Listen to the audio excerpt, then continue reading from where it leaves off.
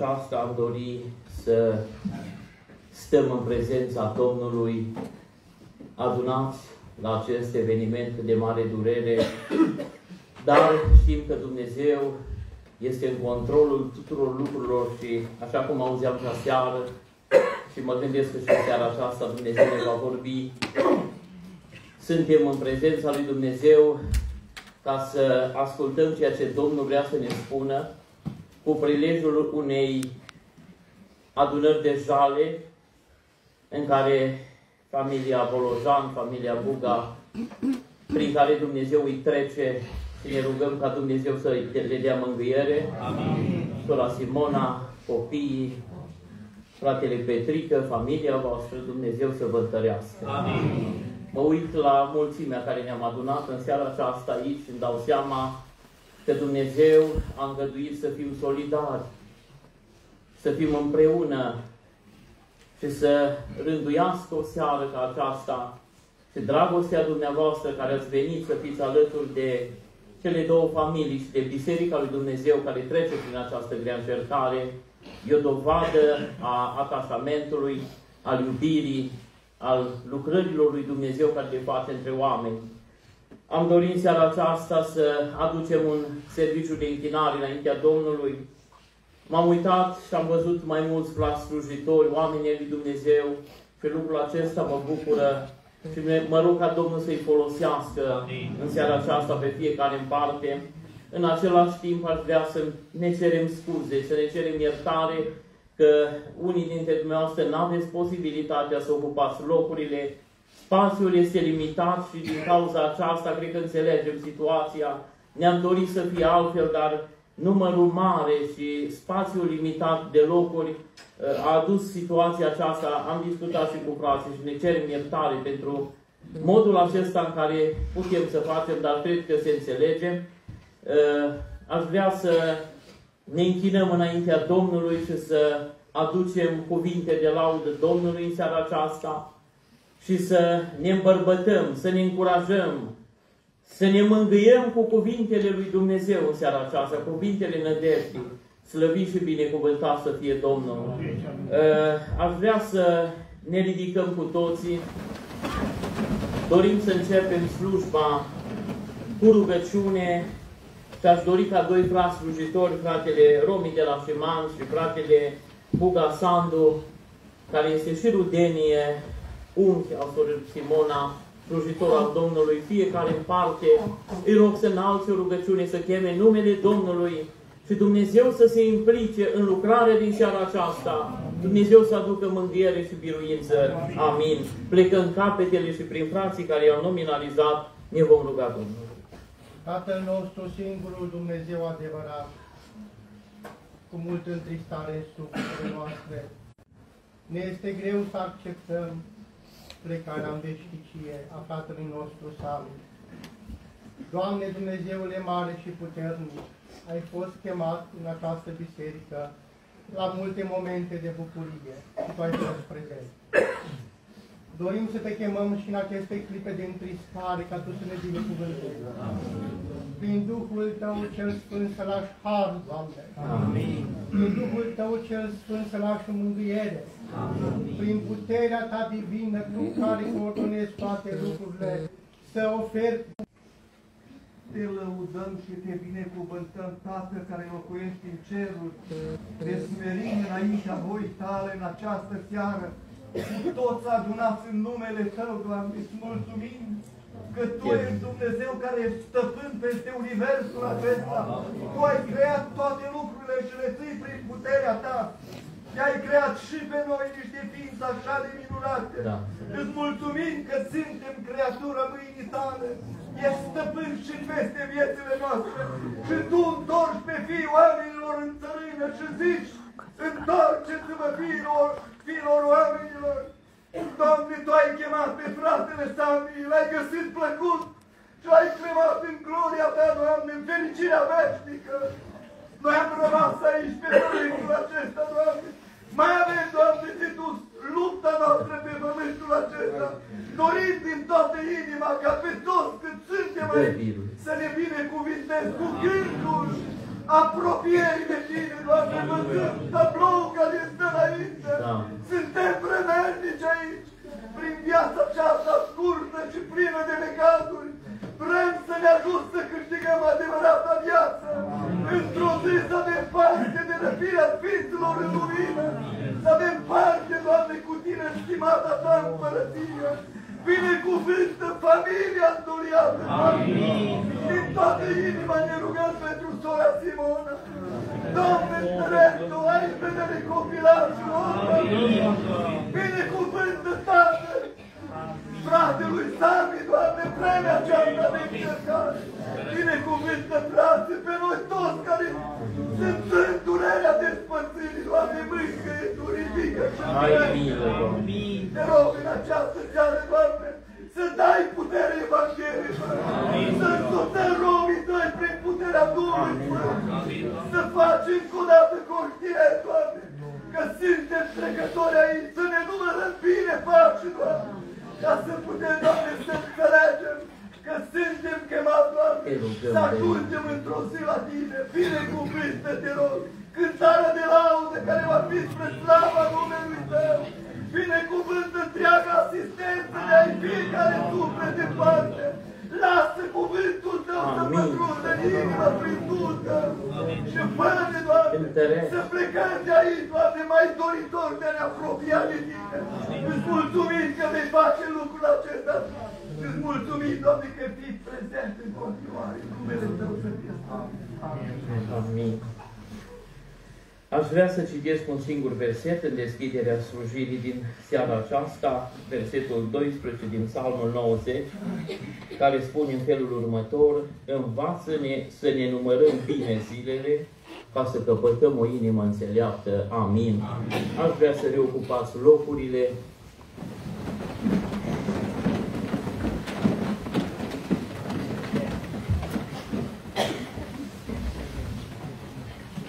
Doresc să fac o specificare. Uh, Știu că sunt mai mulți frați slujitori. Unii dintre dumneavoastră poate nu veți reuși să slujiți. Uh, N-am ales pe cei ce vor sluji pentru că îi consider superiori sau, mă rog, și în limita timpului fiecare vom sluji, iar cei ce nu vom putea, mă gândesc că nu va fi nicio problemă, vom accepta și ne vom ruga unii pentru alții ca Dumnezeu să lase mângâiere. Amin. Trăim aici pe pământul acesta într-un timp limitat, în spațiu și trebuie să ne încadrăm cu toate lucrurile și Dumnezeu să vă binecuvinteze, vă asigurăm de aprecierea noastră pe fiecare în parte și Domnul să vă întărească pe fiecare care veți veni să slujiți, să puteți aduce cuvântul Domnului.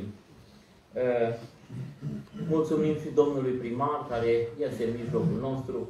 Apreciem prezența dânsului Dumnezeu să vă răsplătească. Amin. Aș vrea să începem practic să slujim în seara aceasta și rog pe fratele Dea și fratele Bila să pregătească o cântare spre slava Domnului. Apoi fratele Pavel va recita o poezie.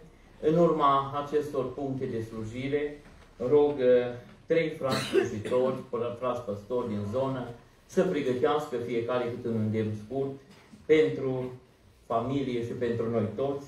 Îl rog pe fratele Nelu Fulia și pe fratele Nicu Bulda și pe fratele Florin Cuța să se pregătească și fiecare să vină să aibă un îndemn, un gând pentru noi și Domnul să lucreze. Amin. Amin. Vă rog frumos să vă rugați, să ne rugăm pentru mângâierea familiei, chiar acolo în taină unde stăm, Domnul Dumnezeu să dea biruință. Amin. Am primit mai multe mesaje, mai multe telefoane și astăzi și de la frați din țară și de la frați din diaspora și e, toți mi-au spus același lucru, frate, suntem mișcați de ceea ce s-a întâmplat și în același timp ne rugăm Domnului ca El să lase mângâiere. Amin. Și lucrul acesta m-a făcut să îmi ridic privirile spre Domnul și să spun Dumnezeu lucrează, cât într-un fel, cât în altul, și cred că și o, cu plecarea fratelui Sami în veșnicie, Dumnezeu are un scop. Un scop bine definitivat pe care noi ca oameni nu-l putem înțelege, pentru că m-am tot gândit, Doamne, Tu lucrezi de multe ori peste capacitățile noastre de a pricepe unele lucruri. Dumnezeu e mai mare decât mintea noastră, dragii mei, și de multe ori nu-L putem înțelege pe Dumnezeu, dar aș vrea să vă spun ceva și cu asta închei și dau loc fraților. Cineva îmi spunea odată un cuvânt care mi-a rămas întipărit în inimă și când am trecut prin o stare de descurajare în viața mea, m-am legat de acest cuvânt. Și omul acesta lui Dumnezeu spunea așa, chiar și atunci când nu-L înțelegem pe Dumnezeu, tot El are dreptate. Noi nu-L înțelegem pe Dumnezeu de multe ori, dar El are dreptate. De ce? Nu știm. Dumnezeu știe mai bine. Și Dumnezeu să lase și mângâierea necesară, uh, harul și întărirea pentru inimile care sunt zdrobite și povărate, care poate spun întrebări, Domnul Dumnezeu să lucreze. Haideți să fim o mângâiere, o încurajare, o ridicare în seara asta și Dumnezeu ne va vorbi și ne va da direcție. Poate cineva în seara aceasta nu are direcție și cu ocazia plecării în veșnicia fratelui Sami, Dumnezeu să-i lumineze inima și viața Amin. și să aleagă ce este bun pentru veșnicia Lui. Amin. Au loc frații și Domnul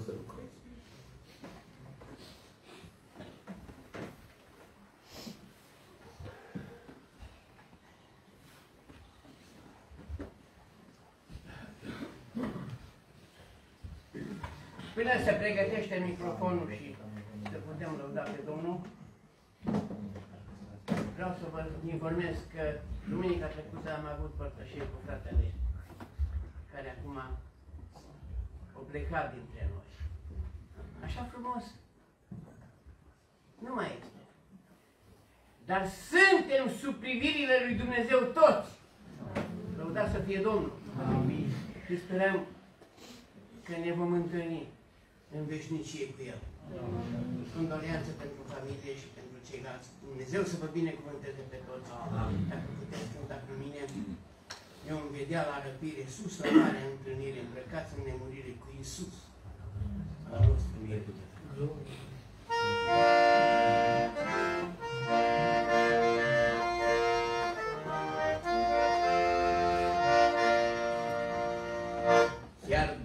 aici ne despărțim, cu greu noi totuși acceptăm.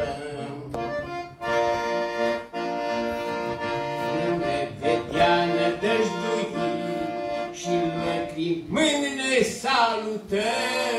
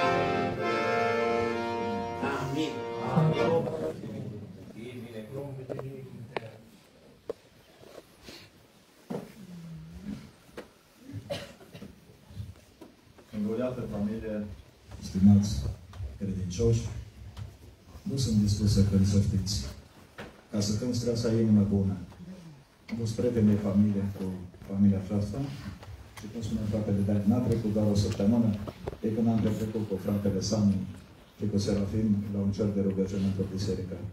Și ne-am bucurat. Și noi ne-am seama că acum ajunge despărțirea. Nimic nu le voi întâmplării. Dar mă gândesc pentru roșia, este un semnal de alarmă. Dumnezeu ne ceva cu roșia, să știți.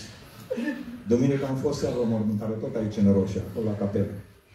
Și Domnul a vorbit minunat prin pastorii care au fost acolo și cred că și în seara aceasta va vorbi și aici. Dacă chiar uh, ambalașul acesta a fost lovit, sufletul este păzit și este în mâna lui Dumnezeu să știți.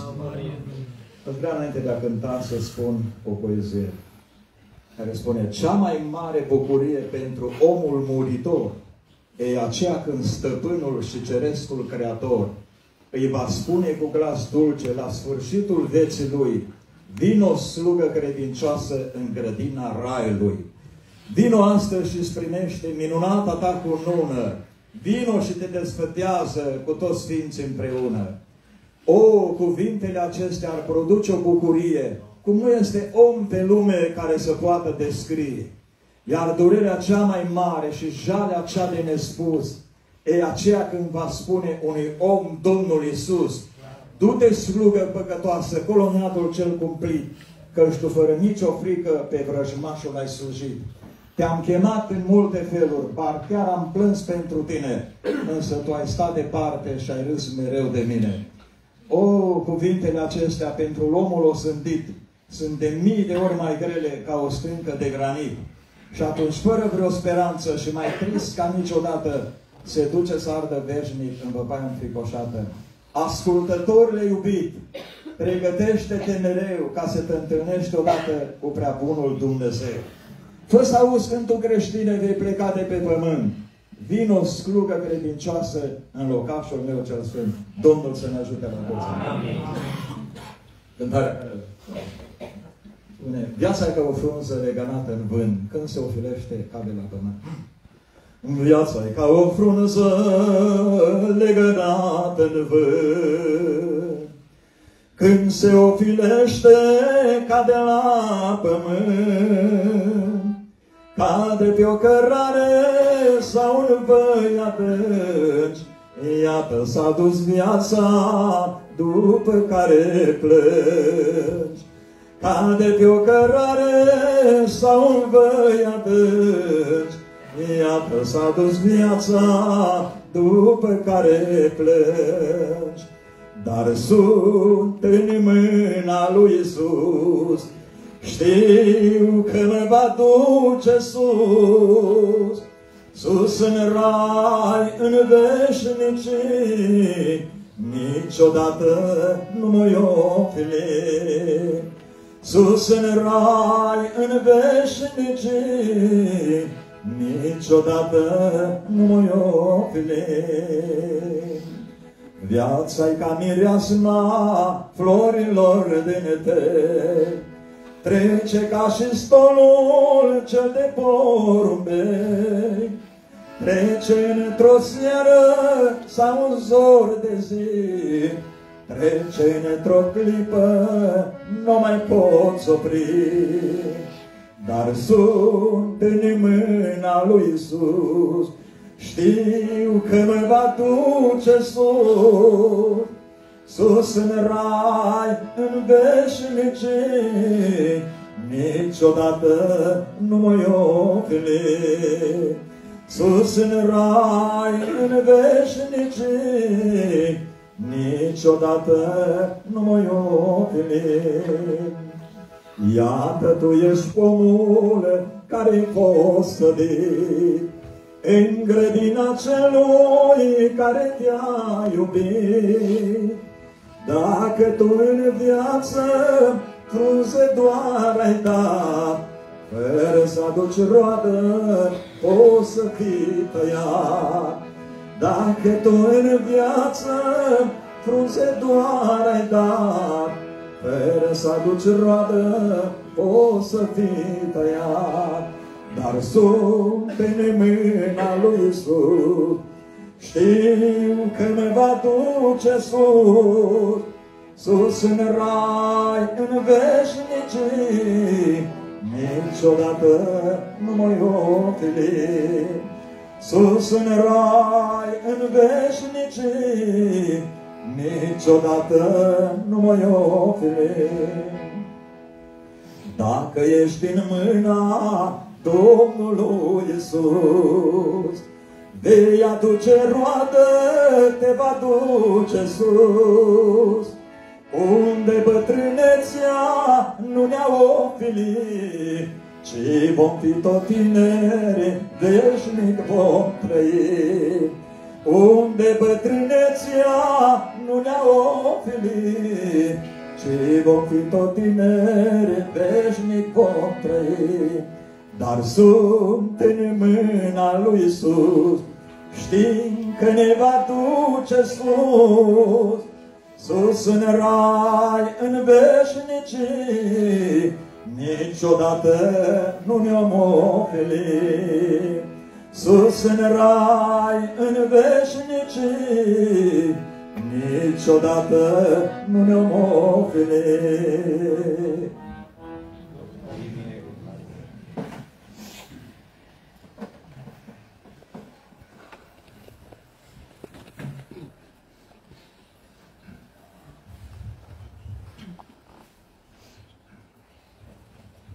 Slăvit să fie Domnul. Amin. Celui ce va birui, îi voi da să mănânce din pomul vieții, care este în raiul lui Dumnezeu. Pe cel ce va birui nu va fi vătămat nici de cum te a doua moarte. Celui ce va birui voi da să mănânce din mana ascunsă și îi voi da o piatră albă pe care va fi scris un nume nou care nu știe nimeni decât cel care îl primește.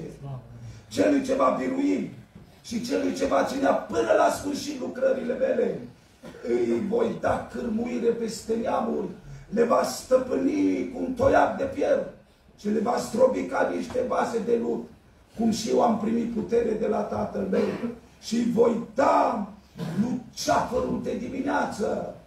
Cel ce va birui va fi îmbrăcat astfel în haine albe, și nu-i voi șterge nici de cum numele din cartea vieții și voi mărturisi numele Lui înaintea Tatălui meu și înaintea îngerilor Lui. Pe cel ce va birui, îl vei face un stâlp în templul Dumnezeului meu și nu va mai ieși afară din el. Și voi scrie pe el numele Dumnezeului meu și numele cetății noului Ierusalim, care are să se coboare din cer de la Dumnezeul meu și numele meu cel nou. Cel ce va birui va ședea împreună cu mine pe scaunul meu de domnie, cum și eu am biruit și am șezut cu tatăl meu pe scaunul lui de domnie. Mă voi întoarce acasă, astă fi, în strălucirea sfântă a țării mele, cu dor și cu credință voi păși pe poarta mântuirii către stele. Mă voi întoarce acasă în astăzi, în țara mea, la casa părintească pe drum de nord, prin fund de primegii, apropierea ei să mă sfințească. Mă voi întoarce acasă ca să pun piciorul meu pe neștiutul prag, să îngenunchi acolo și să spun adio, soarte mele de pribeag. În țara mea iubită am să ajung ca un copil cu sufletul fierbinte, să fie drumul acesta cât de lung. Voi merge prin credință înainte. Mă voi întoarce acasă în astăzi, în raiul frumuseților natale și rănile de aici se voi sfârși, când voi sfârși cântând această cale. Ce voi simți atunci când voi păși pe vechea poartă ce încă deschisă, când fiecare pom îmi va privi întoarcerea în slava nedescrisă, la masa întâlnirilor bogată, cu ochi sclipind în lacrimi și în scântei, cu atâta drag, voi sta caltă dată la locul meu știut între ai mei și voi ajunge acasă lângă tata, la masa bucuriilor din tâi, de un ultim drum sunt pregătit și gata, iar tu, planetă neagră, ai să rămâi și nu voi mai călca o, niciodată hotarul țării mele înapoi. Cu inima de dor miresmată, voi rămânea dragi îngeri între voi. Da, niciodată nu voi mai păși cu inima pe drumul spre Egipt. Acolo unde bucuria mea, cuțitul răutății s-a înfipt. Te voi lăsa părând țesul de oase și a murit cu sânge de martiri, cu spaime și cu râpi întunecate, săpate diabolic în priviri. Mult noi mai stăm covoiați sub vreme în țara miliardelor de robi. Ce sapă adânc în viacul cu blesteme, cu atâta trudă propriile gropi. O, arfa mea, mi-e tare dor de acasă și sufăr neîmpăcat între străini, dar eu acum stau la masă în cer, în paradisul cristalin, că dincolo de aceste țărmuri e sărbătoare, e sublim, e pomul vieții din cetatea cerescului Ierusalim, e tronul construit din raze și străluciri de curcubeu, dar zecile de mii de îngeri îl preamăresc pe Dumnezeu, arhanghelul ea și falmici și copilași cu părpălai. Și atâtea frumuseți nespuse vor fi acolo sus, în rai. Hristos, la dreapta strălucirii, iar lângă el, pe același mal, va sta mireasa lui aleasă pe țărmuri sfinte de creștar, și voi cânta atunci așa cum simt. Și voi sălta cu strigăte în trăiri. Voi fi mereu o coardă de argint în sinfonia mari bucurii. Și voi cânta cu inima, cu gura, cu mâinile pe arfă lunecând. Un snop de laude va fi făptura la tronul nemuririi. În curând, căci mi s-a dat aripi de porumbel să pot să zbor spre țara mea de glorii, la Tatăl armoniilor, la Cel ce trece orice vise și memorii. Mă voi întoarce acasă în astăzi. Amin. toată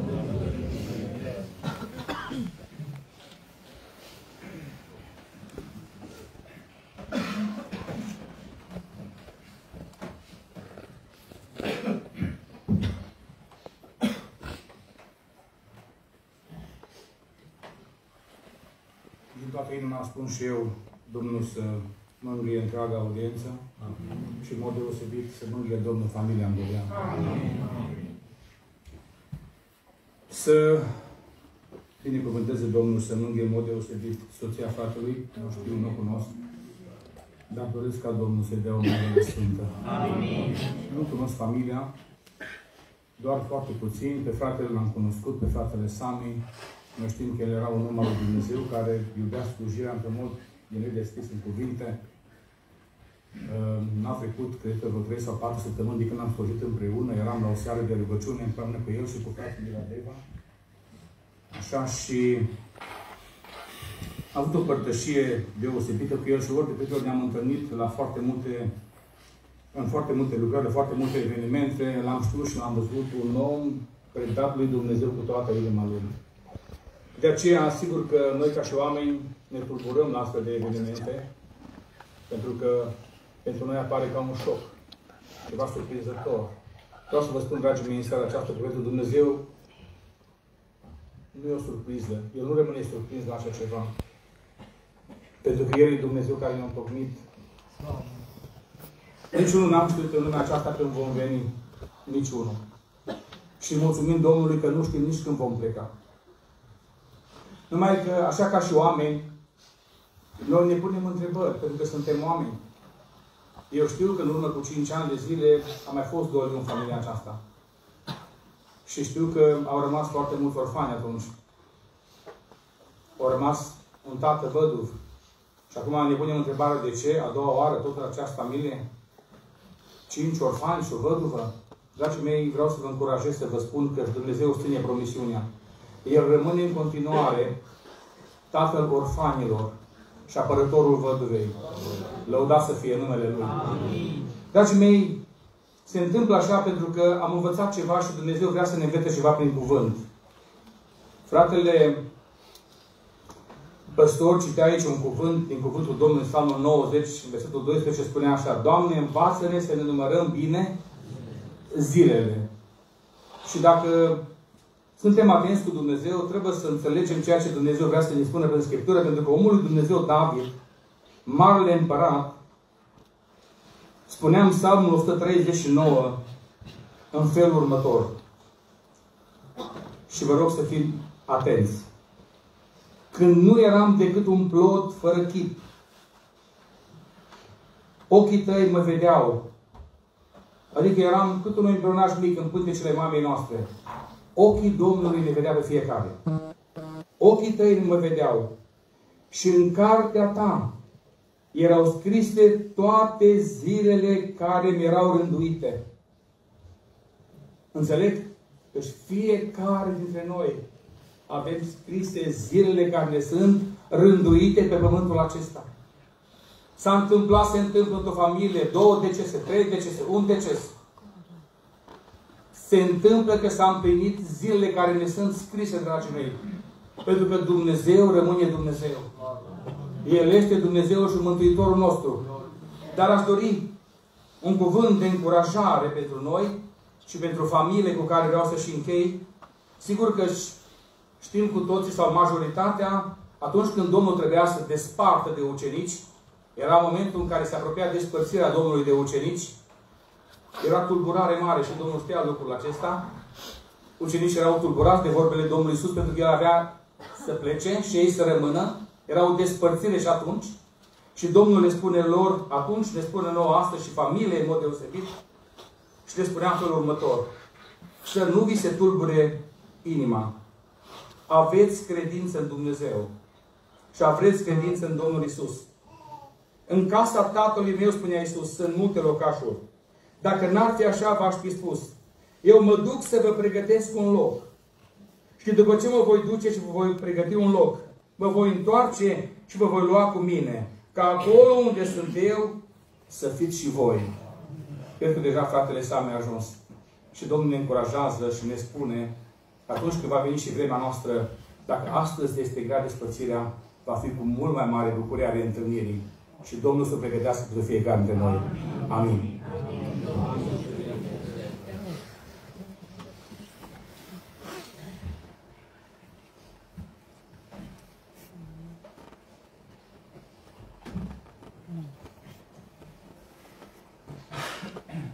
Sora Simona, frate Petrică, iubită familie, sunt momente grele pentru voi, sunt momente grele pentru toți care suntem aici prezenți.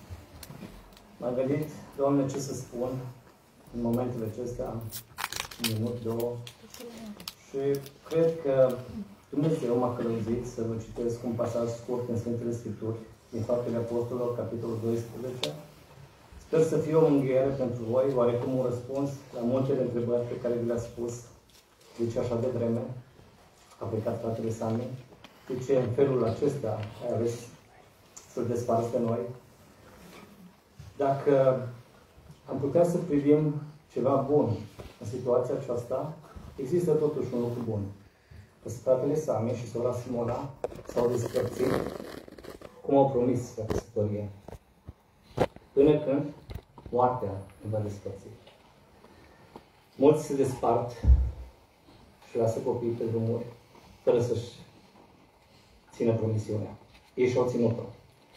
În capitolul 12 găsim că Irod, nu știm dacă Irod Agripa întâi sau al doilea, dar cred că nepotul lui Irod cel Mare l-a omorât pe Iacov, fratele lui Ioan, unul dintre ucenicii Domnului, care și-ar fi dorit să stea la dreapta Domnului, sau la, unul la stânga, unul la dreapta. A plecat prematur și a plecat printr-o moarte violentă. Irod l-a decapitat. A văzut că place poporul iudeu decapitarea lui și prigonirea creștinilor. Și l-a prins și pe Petru și l-a temnițat și pe el. Dar pentru că era sărbătoare, a lăsat să treacă sărbătoarea și urma ziua decapitării lui Petru. Și aș vrea să citesc doar câteva versete și aș dori să fie o mânghiere pentru voi și pentru noi. A ales Domnul să ducă pe Iacov înainte de vreme, să fie în glorie cu el. Dar pentru Petru, Dumnezeu a rânduit izbăvire într-un mod miraculos. Am înțeles că cumnatul lui Sam e foarte grav. Și m-a rugat și cred că s-a rugat. Să-l izbăvească, Domnul. Amin. Miraculos. Cam pe aceeași vreme împăratul Irod a pus mâinile pe unii din biserică pentru ca să-i chinuiască. Și a ucis cu sabia pe Iacov, fratele lui Ioan. Când a văzut că lucrul acesta place iudeilor, a mai pus mâna și pe Petru. Erau zilele praznicului azimilor. După ce l-a prins și l-a băgat în temniță, l-a pus sub paza a patru cete de câte patru ostași, cu gând ca după Paște să-l scoată înaintea norodului. Parafrazez eu, să-l decapiteze, să-l omoare. Deci Petru era păzit în temniță și biserica nu înceta să înalțe rugăciuni către Dumnezeu pentru el. În noaptea zilei, când avea de gând Irod să-l împătășeze la judecată, Petru dormea între doi ostași legat de mâini cu două lanțuri și niște păzitori păzeau temnița la ușă. Și iată un înger al Domnului a stat lângă el pe neașteptate și o lumină a strălucit în temniță. Îngerul a deșteptat pe Petru, lovindu-l în coastă și a zis, scoală-te iute, lanțurile i-au căzut de pe mâini. Apoi îngerul i-a zis, încinge-te, leagă-ți încălțămintele. Și el a făcut așa. Îngerul i-a mai zis, îmbracă-te în haină și vină după mine. Petru a ieșit afară și a mers după el fără să știe dacă ce făcea îngerul este adevărat. I se părea că are o vedenie. După ce au trecut de straja întâi și a doua, au ajuns la poarta de fier, care dă în cetate, și ea li s-a deschis singură. Au ieșit și au trecut într-o uliță, îndată îngerul a plecat de lângă el. Îmi doresc, nu un înger, ci Dumnezeu însuși prin Duhul Sfânt să fie lângă voi. Amin. Lângă întreaga familie. Amin. Îmi doresc. Și dacă frații au îngăduit și au găsit cu cale să spun câteva cuvinte, Biserica s-a rugat pentru Petru. N-a avut vreme să se roage pentru Iacov. Dar pentru Petru s-a rugat și a înălțat rugăciuni. Și Dumnezeu l-a izbăvit. Să ne rugăm. Să nu ne hrănim din durerea lor. Cu durere spun, am văzut imagini, poze cu fratele Sami la accident. Unii, așa, cu plăcere, le dau mai departe, le distribuie. Dragii mei, ștergeți-le. Nu vă hrăniți cu durerea altora. Pentru unii e o plăcere să ducă vești rele. E o veste tristă, o veste tragică. Trebuie să ne anunțăm unul pe celălalt. Dar important este să simțim cu ei, să ne rugăm pentru ei, să plângem împreună cu ei. În seara asta, frate Petrică, sora Simona, am venit și cei mulți am venit să plângem împreună cu voi. Dumnezeu să vă mângâie, să vă binecuvânteze și Dumnezeu să vă scoată la lucru. Amin. Amin.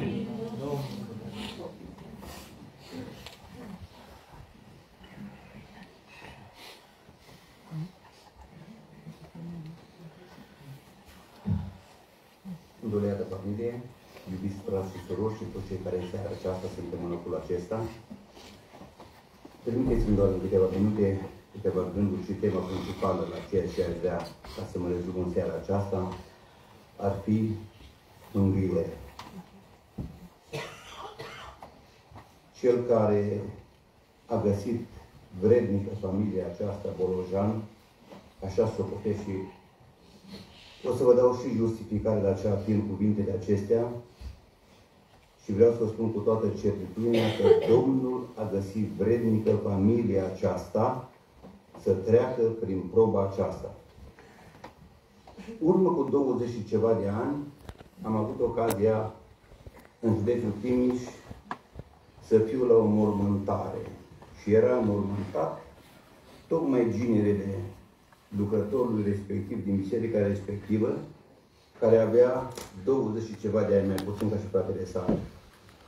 Am fost marcat și ceea ce mi-a marcat după aceea slujirea și a fost cel puțin pentru grupul de la ștei care am fost la acea mormântare, a fost un moment în care am putut să împărtășim și altora faptul că fratele respectiv a avut tăria, credințe și a nădejde în Domnul, a condus slujba de mormântare și pentru noi, tineri atunci, în urmă cu 20 de ani, parcă era ceva de neconceput. Au trecut ani, pentru că Domnul spune că este apărătorul văduvei și a orfanului. Vreau să spun că Domnul a purtat de grijă, slăvit să fie Domnul. Miercuri seara, când am fost anunțat despre vestea tristă, referitor la fratele Sami, ajungând acasă, mi-a spus soția, am vorbit cu fratele Petrică, tatălui Sami de la Roșia. Și bun înțeles, deținând firmă funerară și având ocazia tot timpul, în fiecare zi, câteva telefoane, să primești și referitor pentru intervențiile funerare de care sunt nevoie, fără să întreb, mi-a spus ceea ce m-a marcat în discuția mea cu fratele Petrică a fost un om tare, pentru că zilnic primește multe telefoane și vă dați seama, se dau alții de ceasul morții și și așa mai departe. Și a spus, o vorbit atât de clar, atât de înțeles, un om plin de nădejde. Și în seara aceasta, ajungând în locul acesta, vreau să spun, la tristețe și la durerea aceasta, totuși am o bucurie. Știți de ce? Pentru că vreau să vă spun, poziția lor în seara aceasta și la acest momentul funebru, fraților, întâi de toate aici în Roșia, va avea efect puterea Evangheliei. Am avut ocazia, noi ca și pocăi zicem, vorbim despre un Dumnezeu care face minuni, vorbim despre un Dumnezeu care va învia morții. Și am avut ocazia, la pocăi de noștri, când am ajuns la groapă, trebuie să avem oameni care, efectiv, membrii familiei, să nu sară cu mortul în groapă. Și mă gândesc, într-o astfel de împrejurare, ce nădejde putem să arătăm altora despre nădejdea că întâi de toate Domnul este în controlul vieții noastre. Ce nădejde apoi avem că într-o zi ne vom întâlni cu cei care Domnul i-a chemat acasă. Fraților, să știți, Evanghelia aceasta trăită are mult mai mult efect ca și până ceea ce vorbim. Să știți, vorbim foarte ușor. Și doresc ca Domnul să binecuvânteze familia Bolojan și alte familii. Pentru că vreau să spun, prin exemplul lor, aici pentru Roșia, în aia zi de mâine, fratele Petrică ca și slujitor aici la Roșia și frații de aici, vor avea tăria și curaj să spună, fraților, ați văzut familia greu încercată a fratelui Petrică, ați văzut faptul că o bună dege în Domnul și va putea să împărtășească, să știți, fraților, asta va avea un efect mult mai mare ca și atunci când trâmbițăm de aici de la Ancon și când ieșim afară ne dăm și morții, ca ei care n-au nădejde. Și în privința aceasta aș vrea să mă rezum doar la trei texte pe care vreau să le citesc, pentru că așa, cum spune cuvântul lui, noi suntem lucrători împreună cu Domnul. Și în privința mângâierii, că așa cum am spus, la uh, acest gând aș vrea să mă rămân a mângâia în vremea aceasta, pe de o parte vreau să citesc două versete care ne aparțin nouă că noi trebuie să mângâiem pe cei care se află în vreun necaz. Și în același timp, apoi, un al treilea uh, text, aș vrea să citesc referitor la mângâierea pe care o dă Domnul și pentru care noi trebuie să ne rugăm, așa cum ne-am rugat și serile acestea, trebuie să facem în continuare lucrul acesta, Domnul să fie binecuvântat. Amin. Binecuvântat să fie Dumnezeu Tatăl Domnului nostru Isus Hristos, Părintele Îndurărilor și Dumnezeu oricărei mângâieri, care ne mângâie în toate necazurile noastre, pentru ca prin mângâiere cu care noi înșine suntem mângâiați de Dumnezeu, să putem mângâia pe cei ce se află într-un necaz, slăvit să fie Domnul. Și cred că prezența dumneavoastră și a noastră a tuturor în seara aceasta, tocmai acest lucru dovedește, că suntem alături de ei, ne rugăm pentru ei și dorim ca Domnul, El să îi mângâie. Apoi, al doilea gând referitor la tot ceea ce trebuie să facem noi și cu ceea ce ar trebui noi, ca să ne mânghiem unii pe alții, găsim scris tot în cuvântul Domnului, nu voim, fraților, să fiți în necunoștință despre cei ce au adormit, ca să nu vă întristați ca ceilalți care n-au nădejde. Noi tocmai de aceea dorim ca în astfel de momente cheie, frații, surorile, oameni cu frică de Domnul, oameni care îl cunosc pe Domnul și cunosc puterea învierii Lui, să fie oameni tari în nădejde. Domnul să fie binecuvântat. Că dacă credem că Isus a murit și a înviat, credem și că Dumnezeu va aduce înapoi împreună cu Isus pe cei ce au adormit în El. Iată, în adevăr ce vă spunem prin cuvântul Domnului.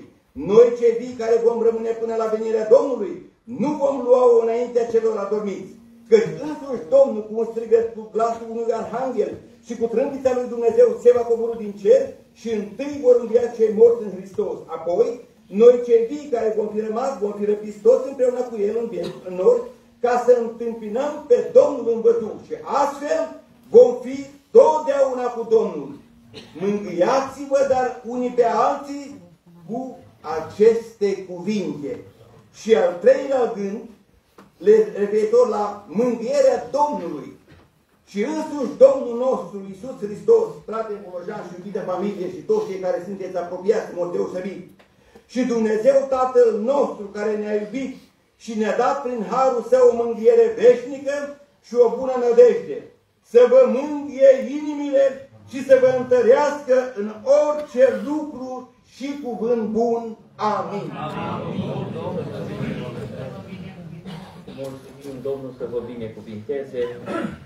În urma acestor minunate cuvinte pe care Dumnezeu ni le-a transmis prin frații slujitori, aș vrea să citesc un mesaj, pentru că fratele Sami a slujit Domnului și în Spania, de fapt acolo s-a format, discutam cu fratele Torin Cocioian, unchiul fratelui Sami și păstor în Spania. Eh, frații de acolo au, trimis, au transmis un mesaj și aș vrea să-l citesc public pentru familie și nu numai pentru familie, ci pentru noi toți, pentru că Dumnezeu în astfel de momente ne vorbește cât într-un fel, cât în altfel și frații transmit aprecierea slujirii fratelui Sami, atât aici, cât și acolo unde Dumnezeu l-a folosit. Dragă familie lărgită, Bolojan și Pocioian, cu inimile sfâșiate de durere am primit vestea că Sami a plecat la Domnul. Ne-au trecut prin minte toate momentele frumoase petrecute împreună în bisericile din Spania, nu punem întrebări. El, Dumnezeu, nu greșește în ceea ce face și îngăduie, dar îl rugăm să vă mângâie inimile, să vă șteargă lacrimile și vă asigurăm că Biserica Betania Getafe este alături de voi. Sincere condolianțe din partea prietenilor, fraților care împreună formează Biserica Betania Getafe, pastor Adi Seb. Dumnezeu să vă binecuvinteze. Amin. Mulțumim fratelui păstor Adi care a avut în inimă acest gând pentru voi. Apoi, fiecare în parte, așa cum v-am mai spus și la început, am primit zeci și zeci de telefoane cu cuvinte de încurajare din partea fraților și surorilor care doresc să fie alături de voi în momentele acestea grele. Aș vrea să ne pregătim inimile să mai ascultăm eh, două cântări Aș dori ca uh, frații Strâmbu să pregătească o cântare, apoi frații de la Oradea să pregătească și eu o altă cântare spre slava Domnului, în urmă alți trei frați să rugați să aducă cuvinte de încurajare, fratele Dani Gavrilaș, fratele Iosif Magda și în final fratele Alin Sabău. Și aici vreau să fac o scurtă paranteză. Fratele Lin a fost un om și un prieten apropiat al fratelui Sami. L-am cunoscut pe fratele Alin prin fratele Sami și am ajuns să slujim și să ne cunoaștem prin acest om al lui Dumnezeu care a fost fratele Sami. Cred că fratele Alin va spune mai multe. Domnul să vă binecuvinteze, să vă întărească și să vă dea inspirație. Dumnezeu să mângâie în continuare inimile celor întristați Și când spun celor întristați, mă uit la toată sala, care o văd aici, sigur că pe unul dintre dumneavoastră nu vă văd, și am văzut multe lacrimi. Am văzut multe lacrimi. Durerea atinge atât inima celor dragi, dar și inima celor din comunitatea Roșia și nu numai, ci a tuturor celor din zonă și din împrejurim și dacă nu, fiindcă știu că sunt unii care ne urmăresc și pe calea undelor pe internet, a tuturor celor de departe care simt cu noi în seara aceasta și mă rog Dumnezeu să ne întărească pe toți. Amin. Amin.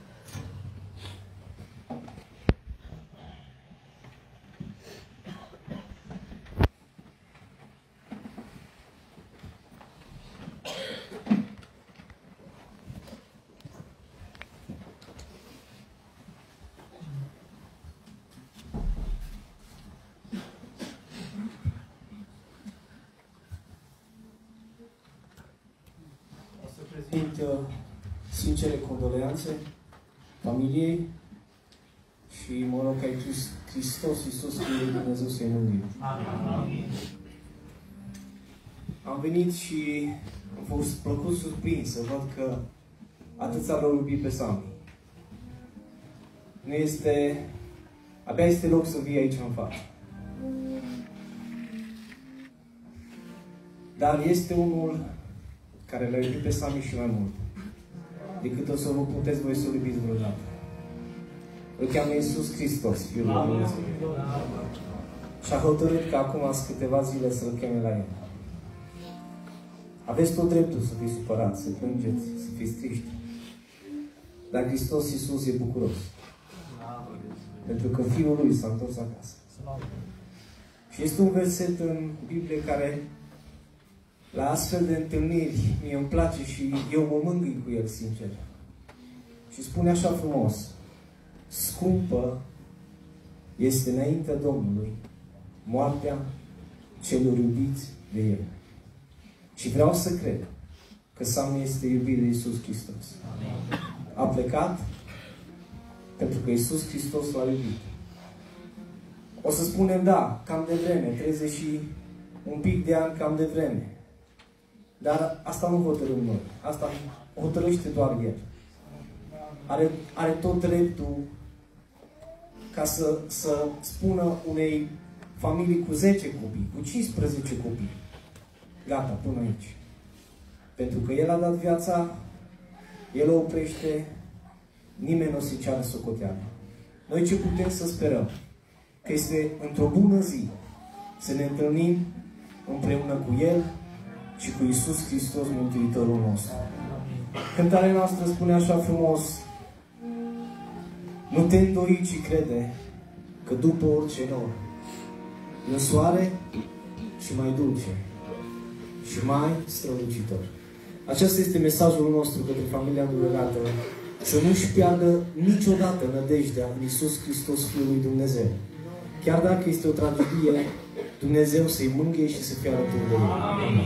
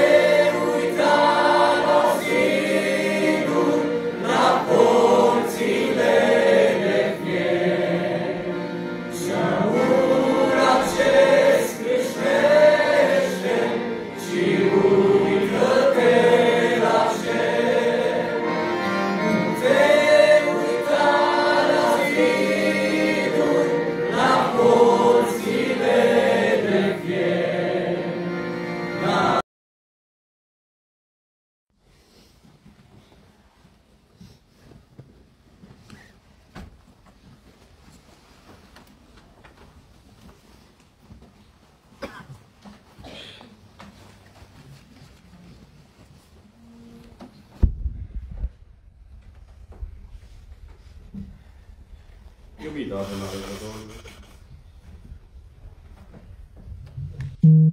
Ca iubiți frați și surori și toți acei ce suntem adunați aici, la această adunare de jale, doresc să-L binecuvântăm pe Domnul.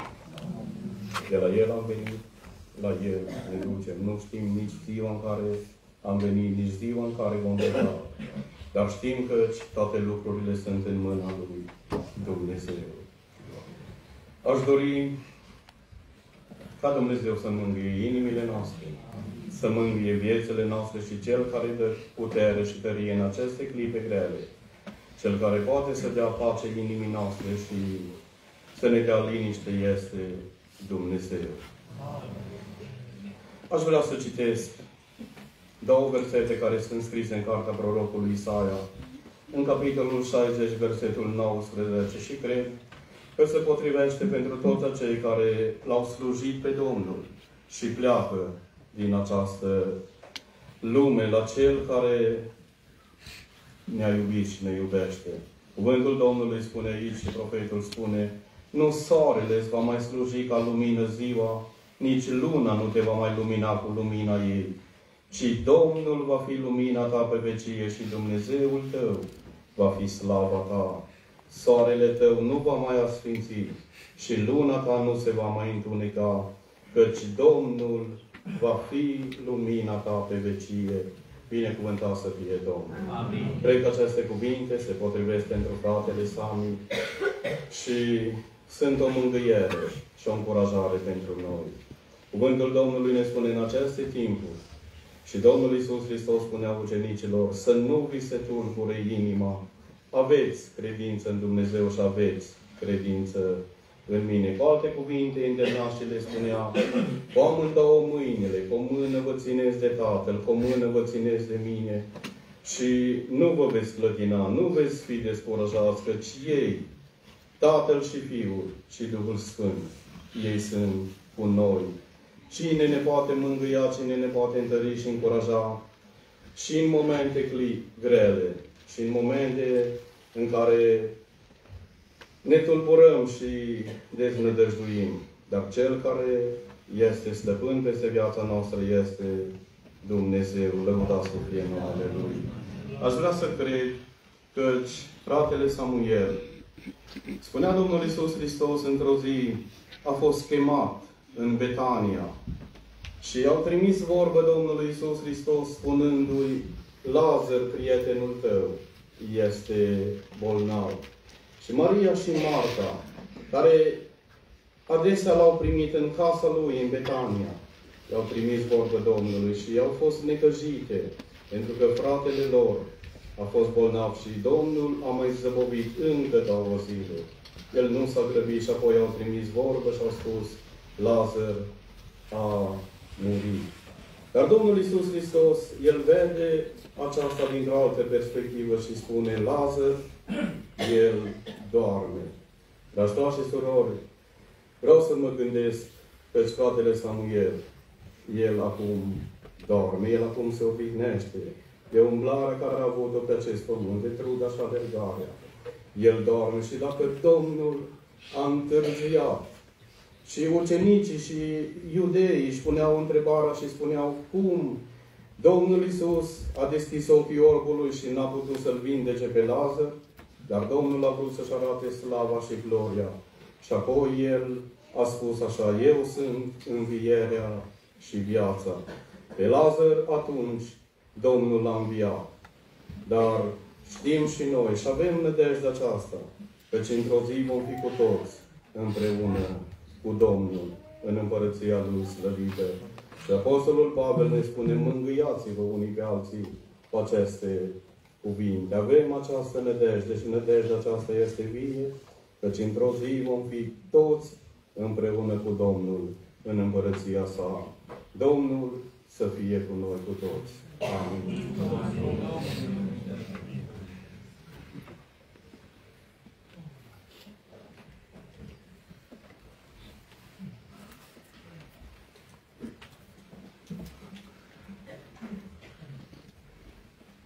Iubită familie întroniată, iubiți creștini, în seara aceasta am venit împreună ca să fim alături de o familie greu încercată și sigur că cuvintele noastre pot să fie așa de sărace, de aduce mângâierea. Dar cel care poate să mângâie cu adevărat este Dumnezeu. De aceea ne-am cunoscut cu fratele Sami în atâtea împrejurări de slujire și mă bucuram întotdeauna de el. O, o față senină, plină de bucurie, un entuziasm în slujire și uh, mă marca lucrul acesta pentru că uh, mă bucur să vină din urmă slujitorii care se preia această ștafetă a slujirii și să fie dăruiți în lucrarea aceasta. Și fratele Sami, el este acum acolo cel mai fericit, în locul cel mai fericit și de aceea Domnul Iisus spunea la cruce, nu mă plângeți pe mine, nu, nu mă plângeți pe mine, plângeți-vă pe voi și copiii voștri, cei care rămân aici, și vremea cretinată care o trăim între începutul mileniului 3, tocmai aceasta e un strigăt din partea lui Dumnezeu. Pe cine să plângem într-o vreme ca aceasta. De aceea trebuie să fim foarte atenți la mesajele care vin din partea lui Dumnezeu. De aceea, uh, un uh, poet român, George Coșbov, spunea de rug din codru rămuream. Ce-i pasă codrului de ea? Ce-i pasă unei lumi întregi de moartea mea? Și psalmistul spunea în psalmul 142, versetul 4, mă citesc, nimănui nu-i pasă de sufletul meu. Era o durere lăuntrică să constați că cel care este semnul tău, poate cel din casa ta, nu-i pasă de sufletul tău. Dar în seara aceasta vreau să vă spun, cel care îi pasă de sufletul meu și al tău este Dumnezeu. De aceea Biblia spune, fiindcă atât de mult a iubit Dumnezeu lumea, că a dat pe singurul său Fiu, ca oricine crede în El să nu piară, ci să aibă viață veșnică. Timpul acesta prin care Dumnezeu ne vorbește cu această ocazie, ne vorbește totodată că nu trebuie trece mult. Dacă Domnul va gădui, sărbăm nașterea Domnului, zi specială, binecuvântată pentru toți oamenii, că a venit împăratul din ceruri să ne mântuiască. De aceea în seara aceasta se ridică întrebarea, iubitul meu care a venit la acest prilej de mângăiere, oare pentru tine această chemare a lui Dumnezeu la pocăință, la mântuire, nu este gata a lua și a îmbrățișa într-o vreme ca aceasta? Singurul care te înțelege Problemele tale, durerile tale, lacrimile tale este Isus. De aceea, iubiților, voi recita o poezie și voi încheia cu câteva versete din Cuvântul lui Dumnezeu. Când ai trăit, ai strâns și ai strâns. Cum strânge de pe crengi furtuna. Și acum te uiți cu suflet plâns, căci toate câte ce l-ai strâns, te lasă una câte una. Ai vrut în lumea de noroi să-ți faci un rai.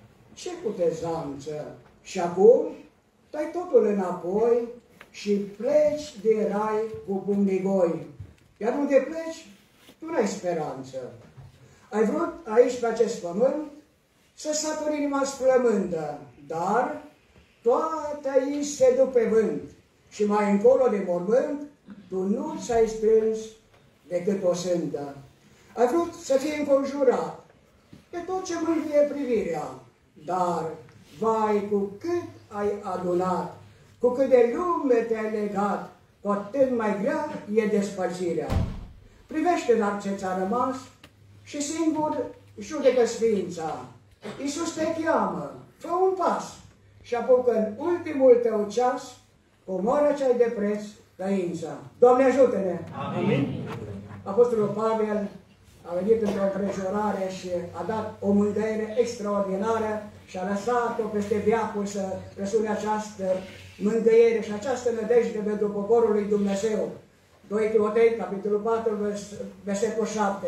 M-am luptat lupta cea bună, am isprăvit alergarea, am păsit credința. De acum mă așteaptă cu luna neprihănirii, care mi va da în ziua aceea judecătorul cel drept. Dar nu numai mie, și tuturor acelora care ar fi dorit venirea Lui. fraților, hai să ne încurajăm, venirea Domnului e aproape, să privim spre veșnicia lui Dumnezeu, spre măreția lui Dumnezeu și spre o răsplătire. Dumnezeu are răsplătiri. De aceea, pentru munca care fratele Sami, în alergarea lui pentru Domnul, a condeiat Dumnezeu. Pentru că Biblia vorbește în cartea Malaite câteva cărți acolo, n-am să citesc în seara aceasta, dar vorbește și cartea Apocalipsei de cartea vieții și se vor deschide atunci și Samuel își va vedea rodul alergării lui. Aici va de plângere. Și Dumnezeu se binecuvânteze pe sora, familia, deși pe sora nu o cunosc personal, să facă Dumnezeu ca ea să spună toată nădejdea numai în Domnul. Amin. Și în felul acesta Dumnezeul mângâierii, Dumnezeul speranța, în dragoste va fi acela când vă trece sora prin anumite aspecte de lupte și atâtea provocări a acestui mileniu, vine Iisus cu mângâierea Lui. Noi ca oameni, mângâierile ăsta așa găsesc. Dar noi, acum trebuie o familie, să purtăm în post și rugăciune, nu ne oprim aici ca creștini, nu nici de cum. Începem și noi o luptă acum, o luptă a dragostei, o luptă a șerpei. De aceea, noi am venit un grup de la Deva. Noi ce să alergăm atâția kilometri? Gândiți ce am dar până aici să vedem. Nu! Noi suntem o familie a lui Hristos. Amin. Și de aceea noi ne bucurăm și necazul, spune Scriptura. Pentru că pentru bine și aduce în direcția aceasta învățătura extraordinar și nu mai continuă. De aceea, fraților, haideți cu toții să privim spre Domnul, să privim la mângâierea Domnului, să privim la mâna binecuvântată a lui Isus, care și astăzi stă întinsă, a mântuit, a izbăvit și a dat binecuvântarea. Fiți binecuvântat de Domnul care a făcut cerurile și pământul. Amin. Amin.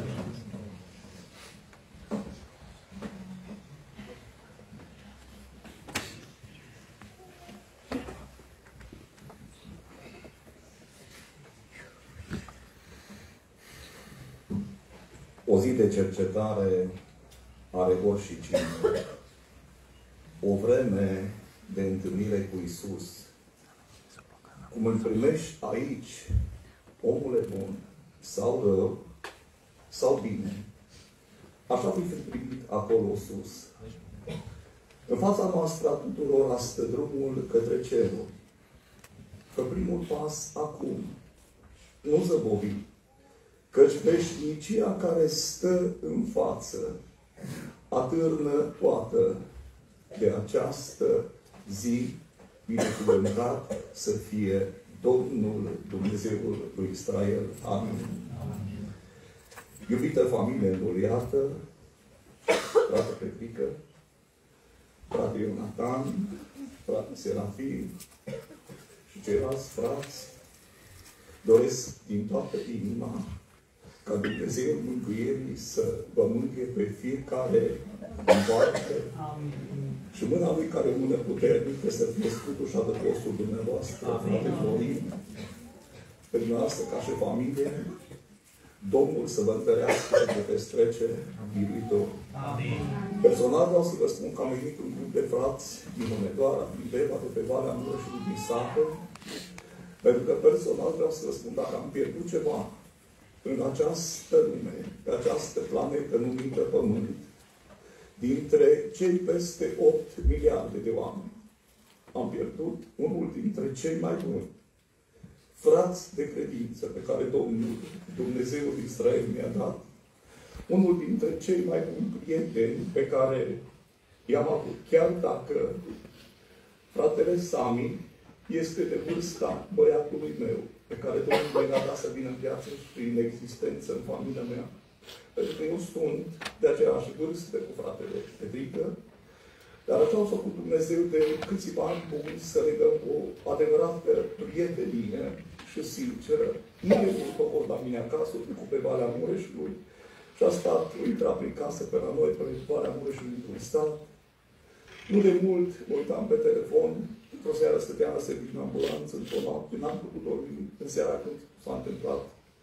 Și mă uitam ultimele mele telefoane și chiar nu de mult se îndrepta fratele Sami de la Cultuțări din partea Radului și pentru că eram liber acea seară, zeci de minute, mă uitam cât am comunicat cu Dumnezeu și am stat de vorbă și mi-am încurajat. Și vreau să vă spun că dacă astăzi, fratele Same, am fi fost în viață, am fi fost la Biserică la Ferici, acolo ne-am fi întâlnit, pentru că vreau să vă spun, dragii mei, că am găsit în omul acesta, în fratele Sami, un om cu inimă mare. Un om cu inimă mare pentru Dumnezeu și pentru lucrarea lui Dumnezeu și spun Dumnezeu să fie binecuvântat pentru lucrul acesta. Atâta misiune cât am făcut împreună pe Valea Mureșului, în orașul Deva, în biserica numărul 1 uh, din Deva, Betania, biserica numărul 2 din Deva, Emanuel și alte biserici în care frații împreună cu frații de trup, fratele Adelin cu sora Loredana și mai mulți frați, au venit în lucrarea lui Dumnezeu pentru că s-au pus deoparte pentru Domnul și pentru lucrarea lui Dumnezeu. Și spun din toată inima, slăvit și binecuvântat să fie Domnul. Dragii mei, ar fi multe lucruri să spun. Vreau să vă spun că duminică am avut o zi de rugăciune în biserica de pe Valea Mureșului, Bretea Mureșană, și o soră din biserică, un vas de lucru, a avut o lucrare din partea lui Dumnezeu. Și se făcea că noi ca și grup care formasem de la Deva Hunedora și am slujit foarte mult împreună cu ei ca familia și în zona aceasta și chiar și fratele păstor spunea că nu de mult ne-am întâlnit cu fratele Sam și am slujit împreună pentru lucrarea lui Dumnezeu.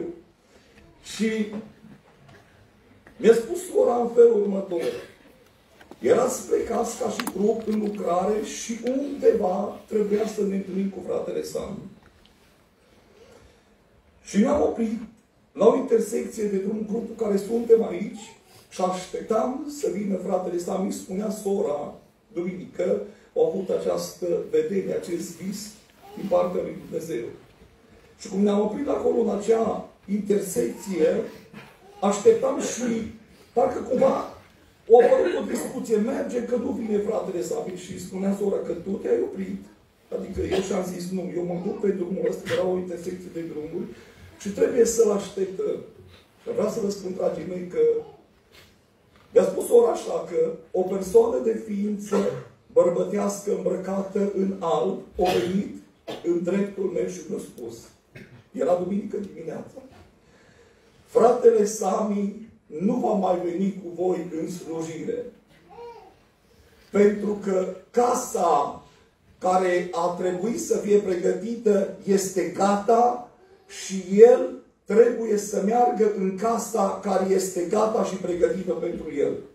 N-am putut înțelege, ne-am gândit, dar nu ne-am putut gândi că Dumnezeu pe fratele Samuel va chema la cer. Miercuri, în jurul orei 12 când s-a întâmplat accidentul, călătoream de la Deva către Arad, în timp ce fratele Sami era în județul Arad.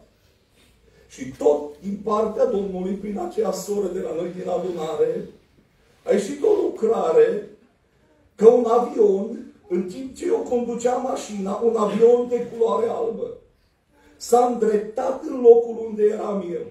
S-a oprit M-a marcat lucrarea aceasta de duminică și lucrarea aceasta de miercuri.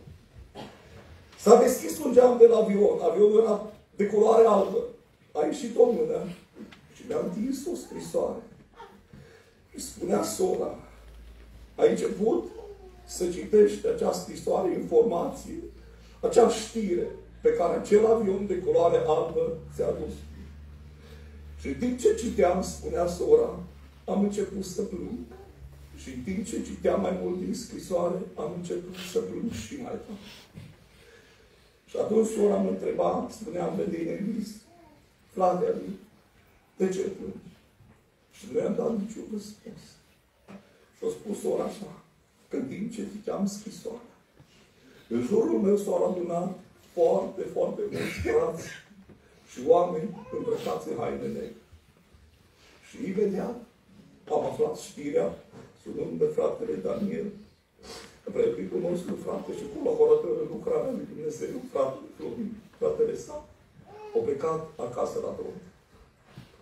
Dumnezeu din cerul, dar nu vreau să vă spun că l-au găsit pe fratele Sami gata și pregătit pentru a-l duce acasă, slăvit și binecuvântat să fie numele Domnului.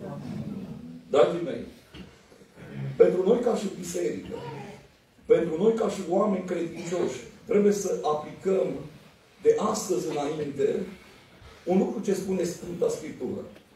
Dacă crede cineva că este religios și nu își înfrinează limba, ci își înșeală inima, religiunea unui astfel de om este zadarnică. Și acum, pentru noi, frați și surori, religiunea curată și neîntinată înaintea lui Dumnezeu Tatăl este să cercetăm pe orfani și pe văduve în cazurile lor și să ne păstrăm neîntinați în lume. Doresc ca Dumnezeu din cerul să vă binecuvinteze. Doresc ca Dumnezeu în satul Roșia să cerceteze satul de la un capăt la altul. Doresc ca mântuirea lui Dumnezeu să rămână, să domnească și să troneze peste noi toți care suntem aici și peste familiile noastre. Să domneze mântuirea lui Hristos peste satul acesta și Domnul să cerceteze roșia. Amin. Și închei, dragii mei, spunându-vă ce spune Sfânta Scriptură. Să ascultăm, dar, încheierea tuturor lucrurilor. Temete de Dumnezeu și păzește poruncile Lui. Căci aceasta este datoria oricărui om.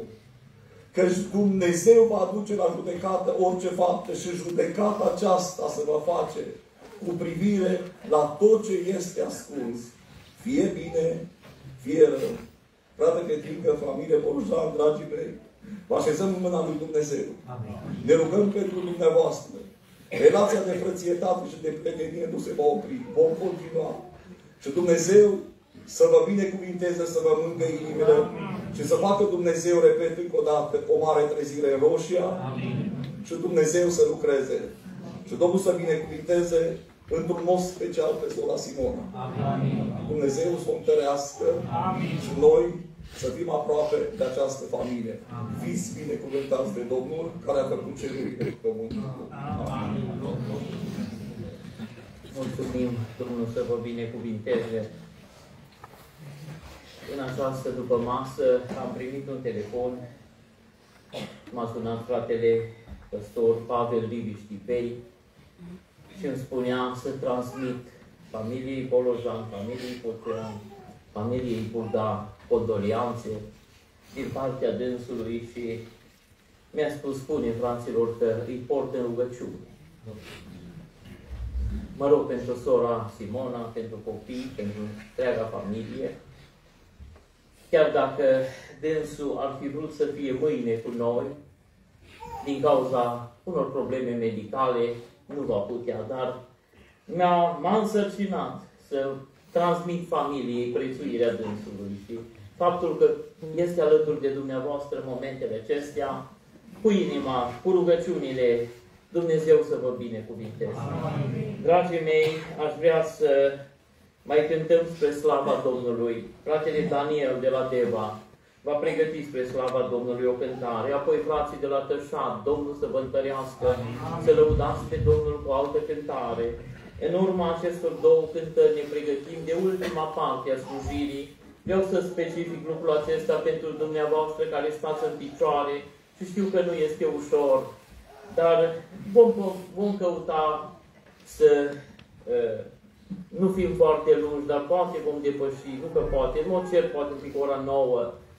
Am fost mulți slujitori aici și oamenii lui Dumnezeu care am dorit să aducem cuvinte de încurajare și mângâiere și cred că a fost de prisos fiecare să aducem ceva din partea lui Dumnezeu pentru sufletele care sunt întristate. În urma acestor două cântări, pe fratele Vasile Jula să pregătească și dânsul mesaj. Fratele păstor Vasile a fost slujitor în biserica noastră. A participat la evenimentele familiei Bolojan. Am fost investiți în lucrare de dânsul și ne rugăm ca Domnul să-l întărească, să aducă cuvintele care Domnul îi le pune pe inimă. În urma fratelui Vasile, ne pregătim inimile să ascultăm un mesaj din partea Domnului prin fratele păstor Ionel Haidău de la Oradea, de la Biserica Betel, am slujit împreună cu Sami la Biserica Betel într-o miercuri seara și când fratele păstor Ionel a auzit această veste, mi-a spus, frate Valentin, vreau să fiu și eu alături de voi, fiindcă fratele păstor Ionel este și un prieten al nostru și al bisericii noastre și al familiilor care suferă a avut această dorință, frate, ne mulțumim, Domnul să vă binecuvinteze. Dânsul va avea un mesaj și apoi vom mai anunța, Domnul să fie slăvit pentru toate. Amin.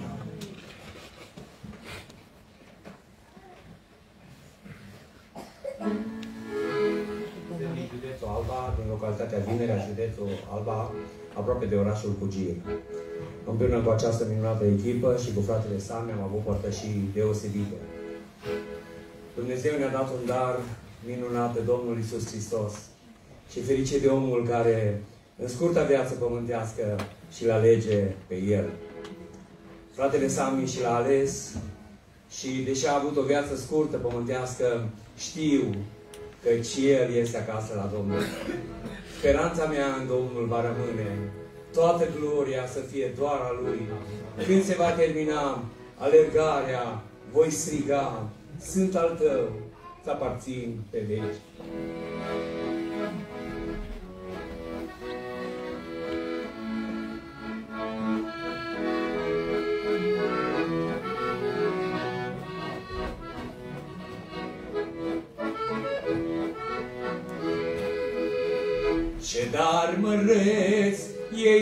Iisus Salvatorul, E tot ce poate cerul să-i dea, E bucurii, e și neprihănire, E o dragoste ce-mi umple inima.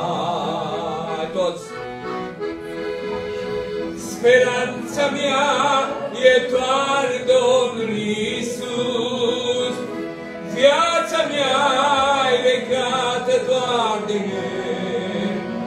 Pot să spun că Iisus pace, dar mi-a adus tot ce sunt, sunt prin harul Său. Speranța mea e doar Domnul Iisus. Viața mea e legată doar de El.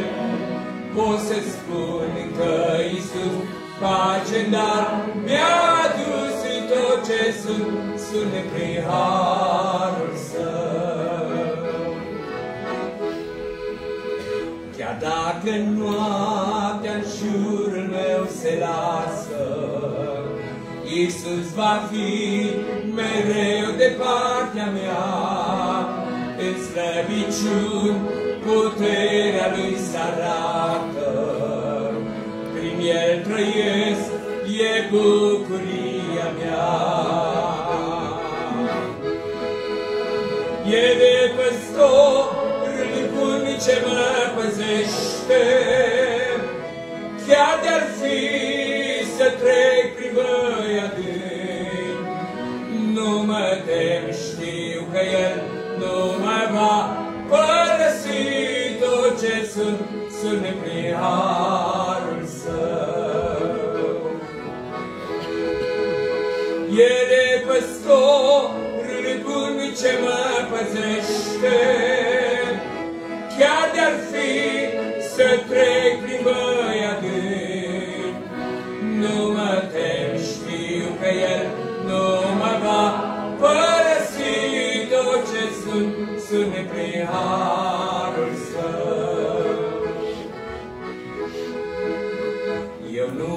mă tem, destinul meu îl ține, Știu că-s iertat, El prețul l-a plătit, El a murit pe cruce pentru mine. Și-a înviat din morți a treia zi. El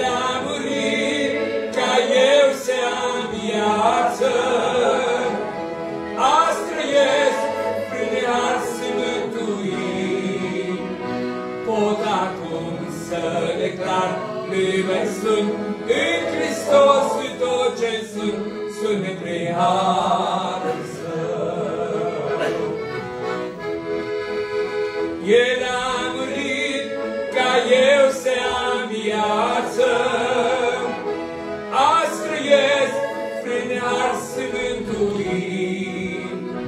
pot acum să declar liber sunt în Hristos și tot ce sunt, sunt prin harul său. Cu tot ce am, îl voi urma pe Iisus. El mi-a promis că mă va duce în cer și zi de zi mă va întări știu mine, când voiajul gen fața tronului,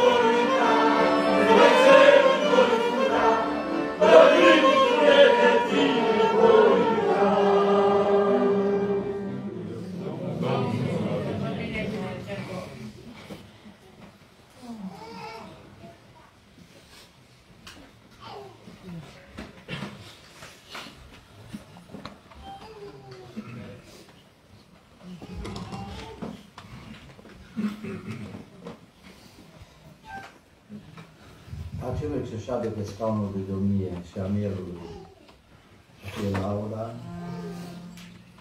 slava, cinstea și puterea, astăzi și până în ziua de Amin.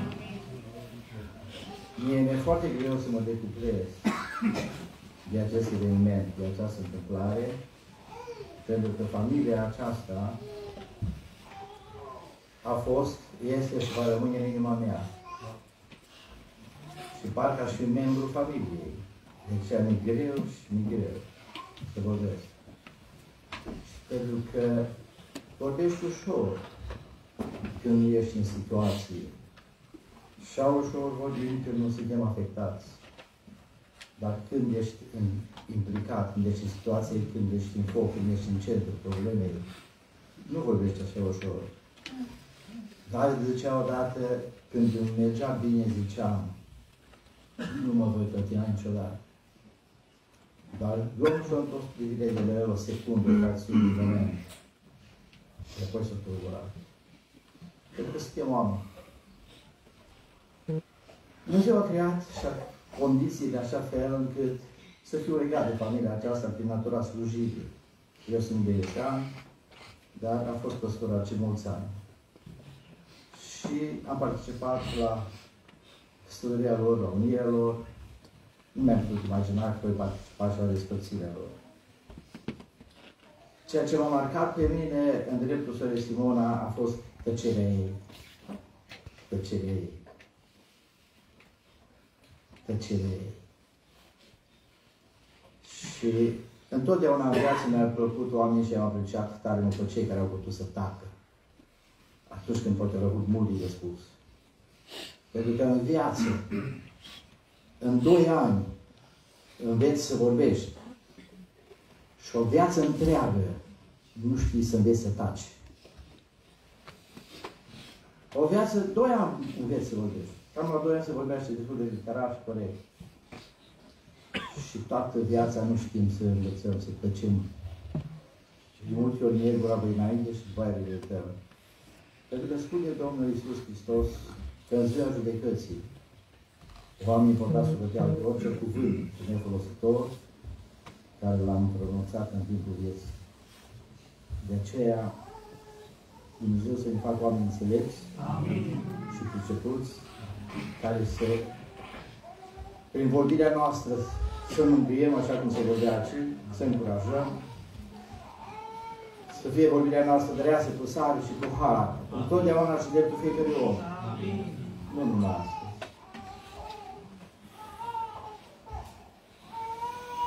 Ce vreau să spun că Sami, eu l-am promovat ca și diacon și avut prezbiter, pentru că Dumnezeu a lăsat în el niște însușiri pe care Dumnezeu cred că m-a sensibilizat și m-a conștientizat de calitățile care au pus în el Domnul.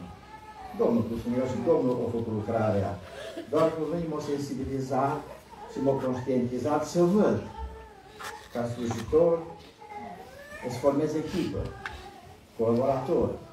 Și rog pe Domnul să îți dea lumină, înțelepciune și pricepere ca să selectezi cei mai corespunzători, cei mai potriviți oameni pentru lucrarea lui Dumnezeu. Lucrarea lui Dumnezeu nu e noastră. Numai pentru că lucrarea lui el folosește oameni. Și Sami a avut o sfârșit, calități care l-au determinat ca să poată să fie un slujitor destul de implicat în lucrarea lui Dumnezeu. Acum Dumnezeu va răsplăti fiecare după ce face și care e scopul pentru care faci ceva și cât faci. Cine seama nu mult, va se cera mult.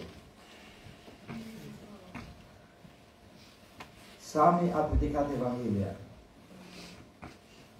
Acum Sami strigă. Strigă, deși el avea o voce puternică. El când se ruga ne acoperea pe toți. Probabil că mi-era ciudă cu el. Dar la început, până m-am obișnuit cu el. După aceea mi-am dat seama că stai pornea și are râvnă, că e pasionat de lucrarea lui Dumnezeu și că o face cu patos. Și așa trebuie să facem toți. Nu numai lui slujitorii, ordinați, ci fiecare credincios să facă totdeauna ca pentru Domnul orice lucrare. Fie în locul de muncă, fie în familie, fie acasă, fie în sat, fie oriunde fi. Întotdeauna ca pentru Domnul. Cu multă seriozitate, competență, ca oameni destoinici, oameni al lui Dumnezeu. Deci revin, Samia acum strigă. strigă. Deci vorbește apăsat. Vorbește convingător. Pentru cine înțelege când ne uităm la Sicriu. Sami strigă. Ce strigă?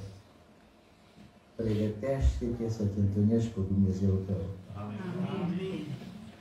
Pregătește-te în orice moment, omule, să te întâlnești cu Dumnezeul tău. Nu aprecia că ai 30 de ani. Și că Dumnezeu e obligat să-ți mai dea nu știu câți ani de viață. Dumnezeu n-a făcut contract cu nimeni. Și, cum spunea și frații de ori, a făcut un deosebit de... Nu se înțelege ce mai. Ce-ar fi să știi că mâine mori? Ai fi disperat sau nu știu cine ce le face. Dar Dumnezeu, care e înțelept, a coordonat și a stabilit și a creat lucruri așa de frumos și de minunat, încât îl lăudăm și îl binecuvântăm în cer. Strigă Sami acum de fiecare zi.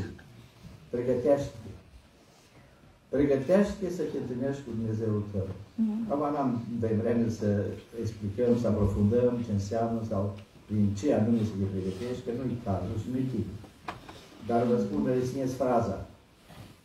Să o rețin și eu, să o rețin și cei tineri și cei mai vârstnici. Pregătește-te să te întâlnești cu Dumnezeu. Împacă-te cu Dumnezeu astăzi, în seara aceasta, în momentul acesta. Ajută. Amin. Amin.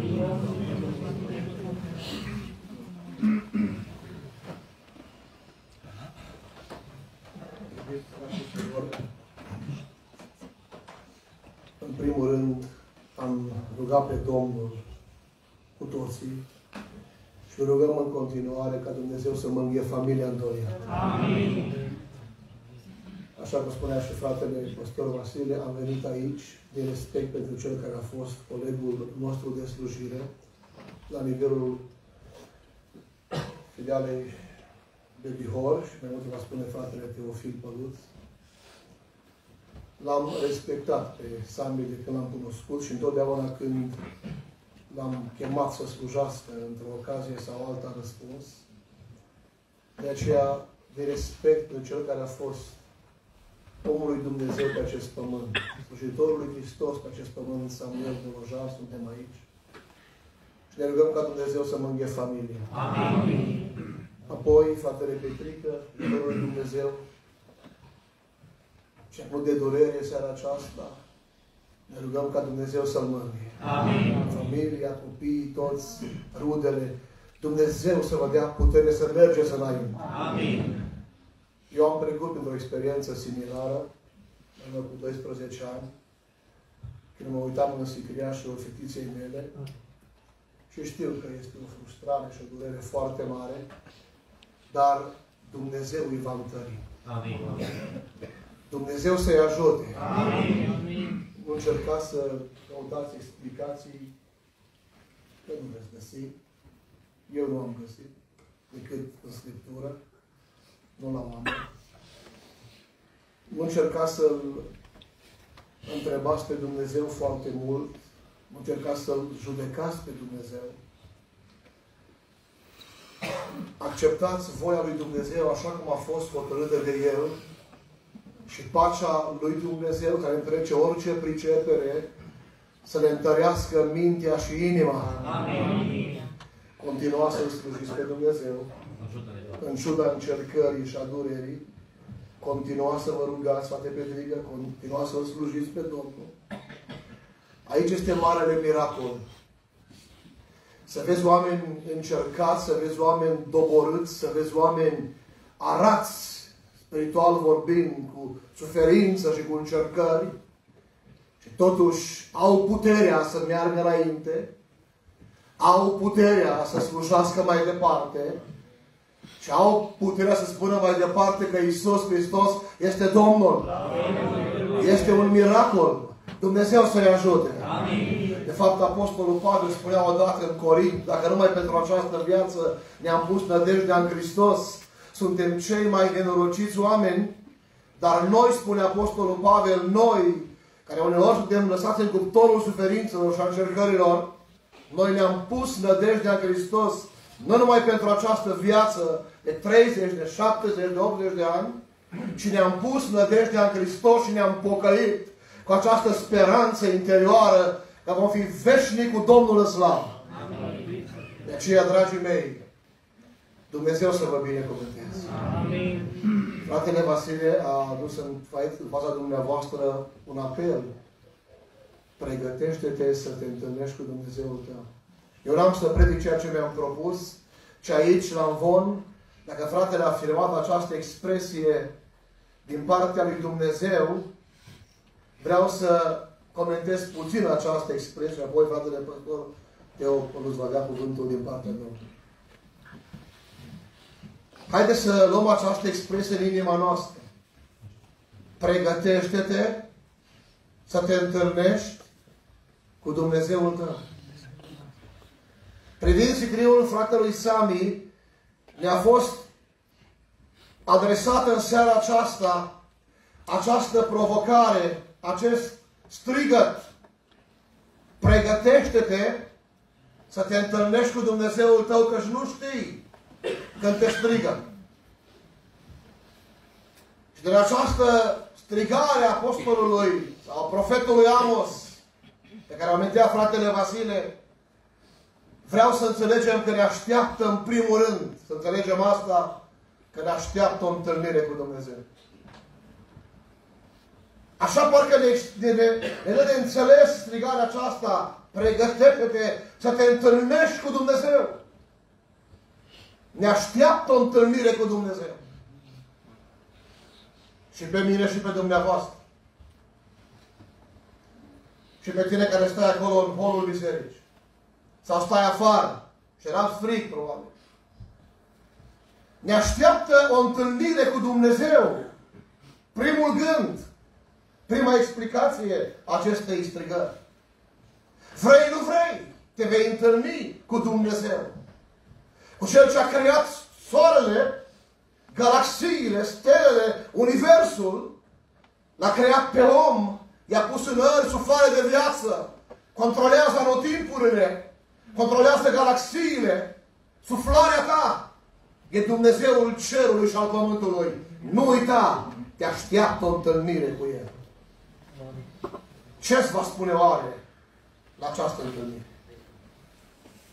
Ce te va întreba? Ce mă va întreba? Cum va fi întâlnirea aceea? Întreabă-te! Întreabă-te!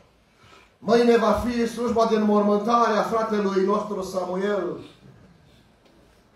Îl vor duce frații păstori. Îi vor duce ca să pământească o semintere la cimitir. Îi vor așeza trupul în țărână, așa cum spune cuvântul lui Dumnezeu. Îi vor pune la cap o cruce. Pe crucea aceea vor, vor pune anul napterii și anul morții. Și acolo va fi pus o liniuță. Între anul nașterii și anul morții, o liniuță. Liniuța aceea, chiar dacă ar fi trăit Sami 90 de ani, tot o liniuță. Liniuța aceea semnifică viața ta și viața mea pe acest pământ. Te vei duce într-o zi de aici, din Roșia, de la Oradea, din America, din Spania, cum se aminte aici, să te înfățișezi înaintea lui Dumnezeu, pentru că te așteaptă o întâlnire cu Dumnezeu. Nu uita asta, nu uita! Ce-ți va spune? Când a plecat din lumea aceasta, o ani în urmă, un tânăr sub 20 de ani, a plecat cu țigările în buzunar și a plecat cu niște blesteme care le rostea pe patul morți. Nu era pocăit. Așa a plecat. Blestemând, țigările în buzunar, unde o fi ajuns? L-am îngropat noi, pocăiți și pe el, așa a vrut familia. Unde o fi ajuns? În rai? Nu-i treaba mea, dar mă îndoiesc atunci când pleci din lumea asta cu țigările în buzunar, cu blestemul în gură, blestemându-L chiar pe Dumnezeu, să auzi la intrare în eternitate, bine, rob bun și credincios. Mă îndoiesc. Biblia spune că afară sunt câinii, vrăjitorii, curvarii și oricine iubește minciuna ce trăiește în minciună. Mă îndoiesc. Dragul meu, puneți la inimă cuvântul lui Dumnezeu în seara aceasta și înțelege împreună cu mine, vrei nu vrei, într-o zi te așteaptă o întâlnire cu Dumnezeu. Te vei întâlni cu Dumnezeu, față în față. Tu încă nu l-ai văzut pe Dumnezeu, încă nu l-am văzut pe Dumnezeu și chiar aștept ziua aceea și eu. Ce îți va spune Dumnezeu? N-ai să scapi de întâlnirea asta. Te așteaptă o întâlnire cu Dumnezeu. Dar nu numai atât, dar te așteaptă o analiză din partea lui Dumnezeu. De aceea strigătul era, pregătește-te să te întâlnești cu Dumnezeu. Dar de ce să mă pregătesc? Pentru că mă așteaptă o întâlnire și mă așteaptă o analiză. Dumnezeu va analiza activitatea mea. Și a fratelui Samuel va analiza. Să știți că mântuirea e prin credință în Hristos. Dacă cineva crede și se botează, va fi mântuit. Dar slujirea va fi analizată. Răsplata va fi oferită după cât ai lucrat, cu ce inimă, cu ce pasiune, cu ce putere, cu ce devotament. De aceea, la întâlnirea asta cu Dumnezeu, ne așteaptă o analiză. Pe noi, pe slujitori, dar și pe dumneavoastră. Dumnezeu va analiza activitatea pe care a avut-o pe acest pământ. Dumnezeu va analiza implicarea ta, pastorația ta în cadrul nostru, slujirea ta. Mă rog ca în ziua răsplătirilor Sami să fie încoronat de Dumnezeu. Amin. Cred că va fi încoronat pentru că a slujit cu pasiune. Ori de câte ori l-ai chemat, a venit. Ne-a rămas pentru lui la ultima conferință pastorală. Mi-aduc aminte că am, am vorbit mult cu el. Zâmbetul atât de cald. Dumnezeu să mângâie familia în Amin. Strigătul de la priviegul fratelui Sami. Pregătește-te să te întâlnești cu Dumnezeu. Asta înseamnă că mă așteaptă o întâlnire și mă așteaptă o analiză. Când te strigă Dumnezeu, trebuie să te duci. Nu știm în ce modalitate te va chema. Sau mă va chema, dar când te strig odată, te duci. Mi-aduc aminte că Alexandru Macedon spune istoria, simțind că moare, după ce a cucerit uh, vaste teritorii, l-a mușcat un țânțar, a făcut malarie și a murit. Marele imperator Macedon. După ce a spintecat ținuturi întregi și a format Imperiul Macedonian, îl mușcă un țânțar. Face malarie și moare. Ca așa a vrut Dumnezeu. Și simțind că moare, și-a chemat la patul de moarte, că simțea că moare, generalii și-au avut trei dorințe. Prima dorință a spus așa, vreau la înmormântarea mea să stea lângă sicriul meu cei mai buni doctori. Din tot Imperiul Macedonian aduceți-mi cei mai buni medici. Dar de ce, domnule, au întrebat generalii? Ca să înțeleagă toți și tot Imperiul Macedonian că atunci când te strigă Dumnezeu, nici cei mai buni doctori nu mai pot face nimic. Poți să mergi unde vrei, dumneata. Am încercat cu tata să mă duc în Viena și a fost inutil. Când te strigă Dumnezeu, doctorii nu mai pot face nimic. Am mai avut o dorință să-mi prestalat, a zis el, drumul de la castel la cimitir cu nestemate, cu aur și cu argint. Și i-au întrebat de ce dorește asta. Și a explicat, ca să înțeleagă toți, că atunci când te cheamă Dumnezeu, nici banii, nici averile, nici posesiunile, nici relațiile nu mai pot face nimic. Deci strigă Dumnezeu și trebuie să pleci. Și am mai avut o dorință să-mi pun, ca spus el, mâinile scoase afară. Doamne, au zis ei, cum să te punem cu mâinile scoase afară? Cum ar fi Same aici, cu mâinile scoase afară. Aș judecat probabil pe drept, oarecum, situația. De ce au întrebat generalii? Ca să înțeleagă tot, a spus Macedon, tot imperiul, că eu plec cu palmele coare de lumea asta. Tot ce am cucerit rămâne aici. Rămâne la voi. O să vă certați pentru Imperiu. L-au și rupt, de fapt, până la urmă. Dar vreau să priceapă toți că nu duc cu mine nimic. Plec cu palmele goale, zis el.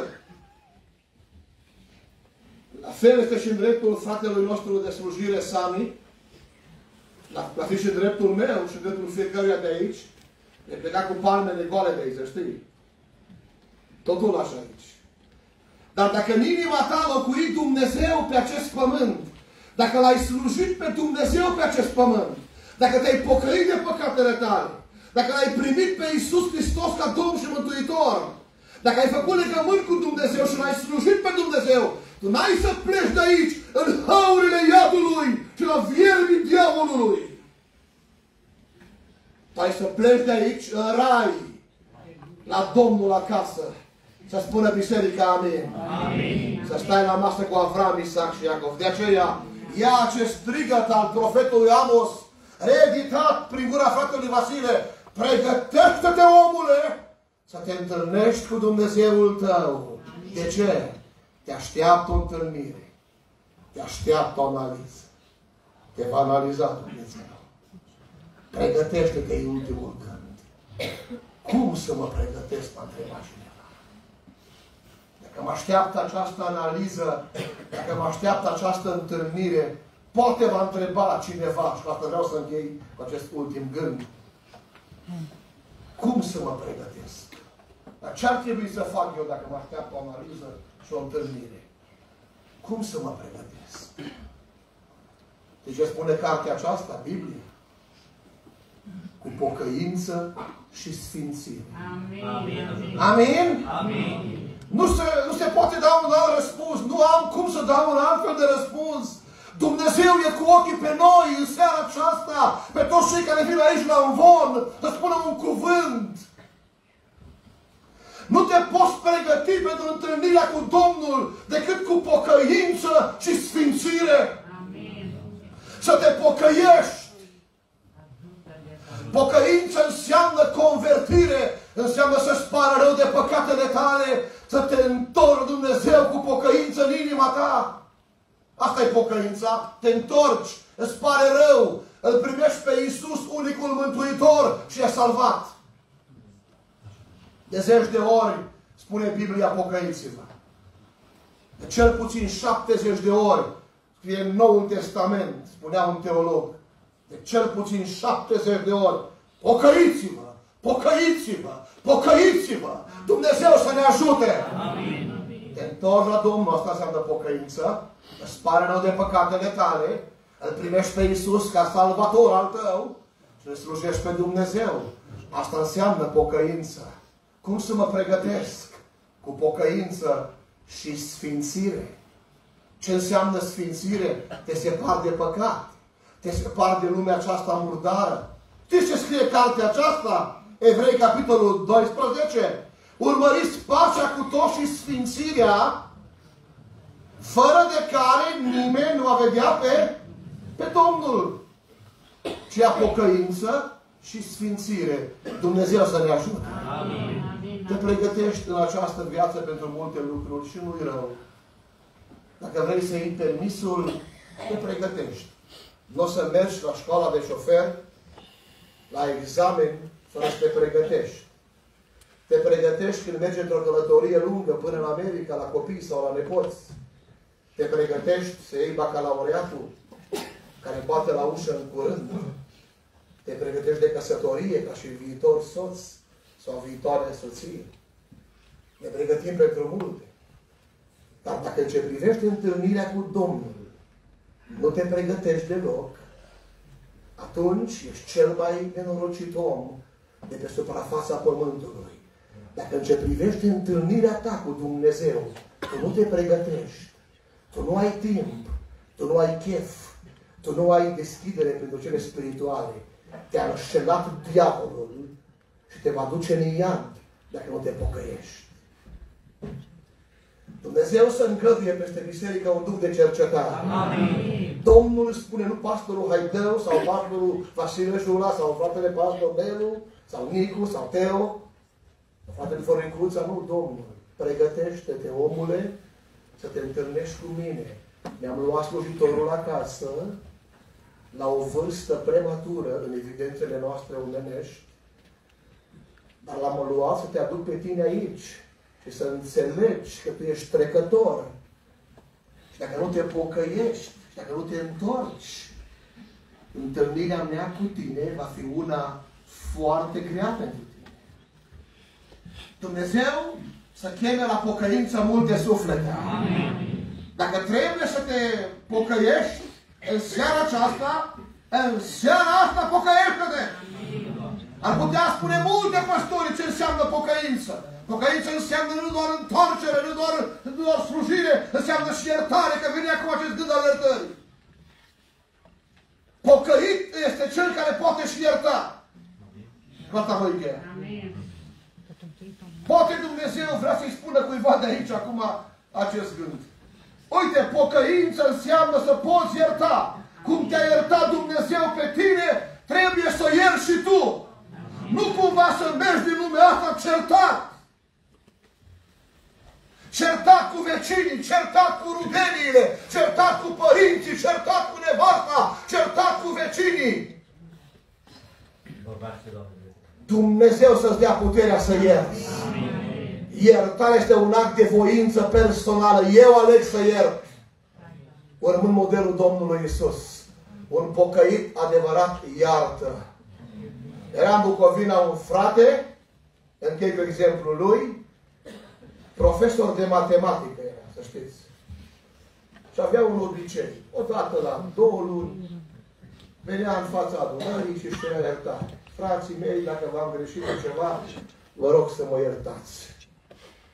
Frații, la început, au zis, uite ce om pocăit. Și chiar s-a întâmplat ca mult să spună, gata, iertare. Ne-ai supărat, dar te iertăm. Dar după câteva luni, deja s-au plictisit că totuși cer iertare. Acum s-au plictisit.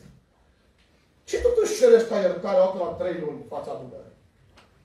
Și el a explicat, fraților, eu sunt bolnav de inimă, era cardiac, iau un punct de medicamente. Inima mea, a spus el, poate oricând ceda, poate presni într-o noapte. Pot face infart și n-aș vrea să mă duc certat cu careva dintre dumneavoastră. De aceea am cer iertare că am supărat pe cineva. Sunt cardiac, a zis el. Bine, va spune cineva, ăsta era cardiac. Asta oricând putea să moară, că va un punct de medicamente. Era cardiac. Dom'le, inima mea inimă puternică. Acum am făcut controlul, îmi spunea cineva. Perfect sănătos. Am o inimă de leu, am o inimă de bivol, am o inimă nu știu de care spunea cineva. Vreau să spun ceva. Inima aceea de leu poate pușca într-o noapte. Că nu te aștepți. Și că nu ți-ai făcut socotelele bine cu Dumnezeu. Deci știi că trebuie să faci asta. Privește sicriul fratelui Sami și prin acest sicriu să-ți vorbească Dumnezeu. Dacă erai tu în locul lui, tu care nu te-ai împăcat cu Dumnezeu, tu că nu ai timp să te botezi, să te pocăiești, întreabă-te unde ajungeai tu. Întreabă-te. Dumnezeu te-a dus aici să ne facă un apel. Pregătește-te să te întâlnești cu mine. Te așteaptă o întâlnire, te așteaptă o analiză, te voi analiza chiar și gândurile și vorbele. De aceea pregătește-te să pună Domnul peste roșia un duc de pocăință. Și tineri, și bărbați tineri, și familii tineri, în frunte cu noi, cu toți slujitorii, să ne pocăim, să ne sfințim, să ne întoarcem cu toată fața spre Dumnezeu, că parcă Dumnezeu scutură cultul penticostal. Dumnezeu să ne umple cu Duhul Sfânt, să ne iertăm, să ne împăcăm, să ne apropiem, că ziua Domnului este aproape.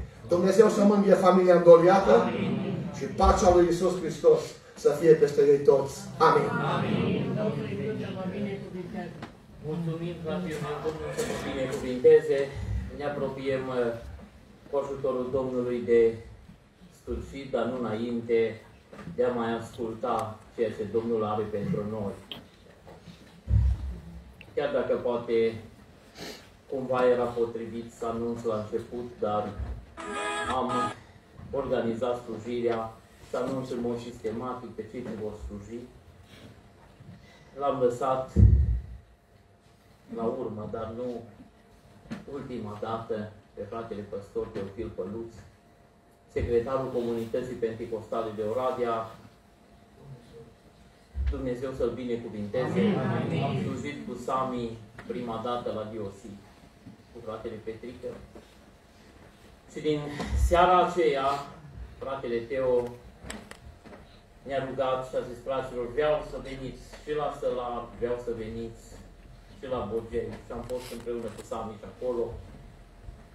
Dumnezeu a cercetat inimile noastre și ne-am bucurat împreună și când am discutat cu fratele Teo despre evenimentul care a avut loc, a fost pentru fratele păstor ca o pompă. Spunea, nu vine să cred. Adică nu vine să cred ce s-a întâmplat. Dar Dumnezeu le știe pe toate. Dumnezeu să-L întărească pe fratele păstor să aducă cuvântul care îl are pe inimă și apoi ne vom apropia de încheiere. Vreau să mai ascultăm însă o cântare, rog frații de la Bistrița să mai pregătească cu o cântare și în urmă vom asculta mesajul biblic pe fratele Teopăluț și ne apropiem de mulțumire, de rugăciune de mulțumire și Dumnezeu să primească lauda și mulțumirea. Dragii mei, haideți să mai avem un pic de răbdare. Știu că e greu, mai ales cei ce stați în picioare. Tot mă gândesc, vreau să vă spun, tot mă gândesc la dumneavoastră care aduceți jertfa asta în seara asta, să stați în picioare. Dumnezeu să vă binecuvinteze și să vă răsplătească și eu dovadă că respectăm cuvântul lui Dumnezeu, familia care e încercată, stând în condițiile acestea alături de ei, Domnul să primească toată închinarea și noi să-i aducem o închinare plăcută. Așadar, grupul de la Bistrița vor slăbi pe Domnul și apoi fratele păstor Teofil Păluț va avea cuvântul din partea Domnului. Amin.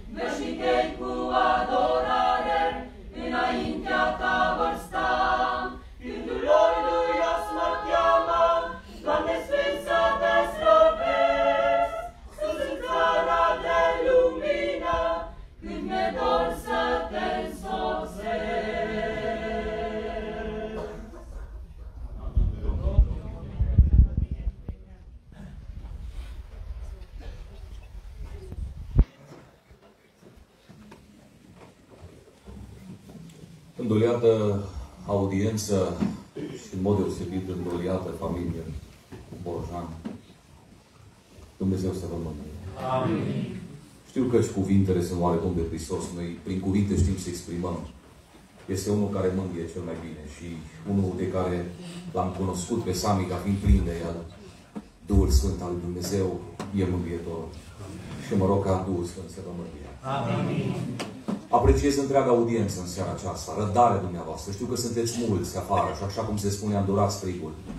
Știu că ați venit în locul acesta să plângeți împreună cu cei ce plâng și practic ați împlinit cuvântul chiar dacă poate naște și mulți dintre voi, cei care sunteți aici, poate versetul acesta. Plângeți împreună cu cei ce plâng.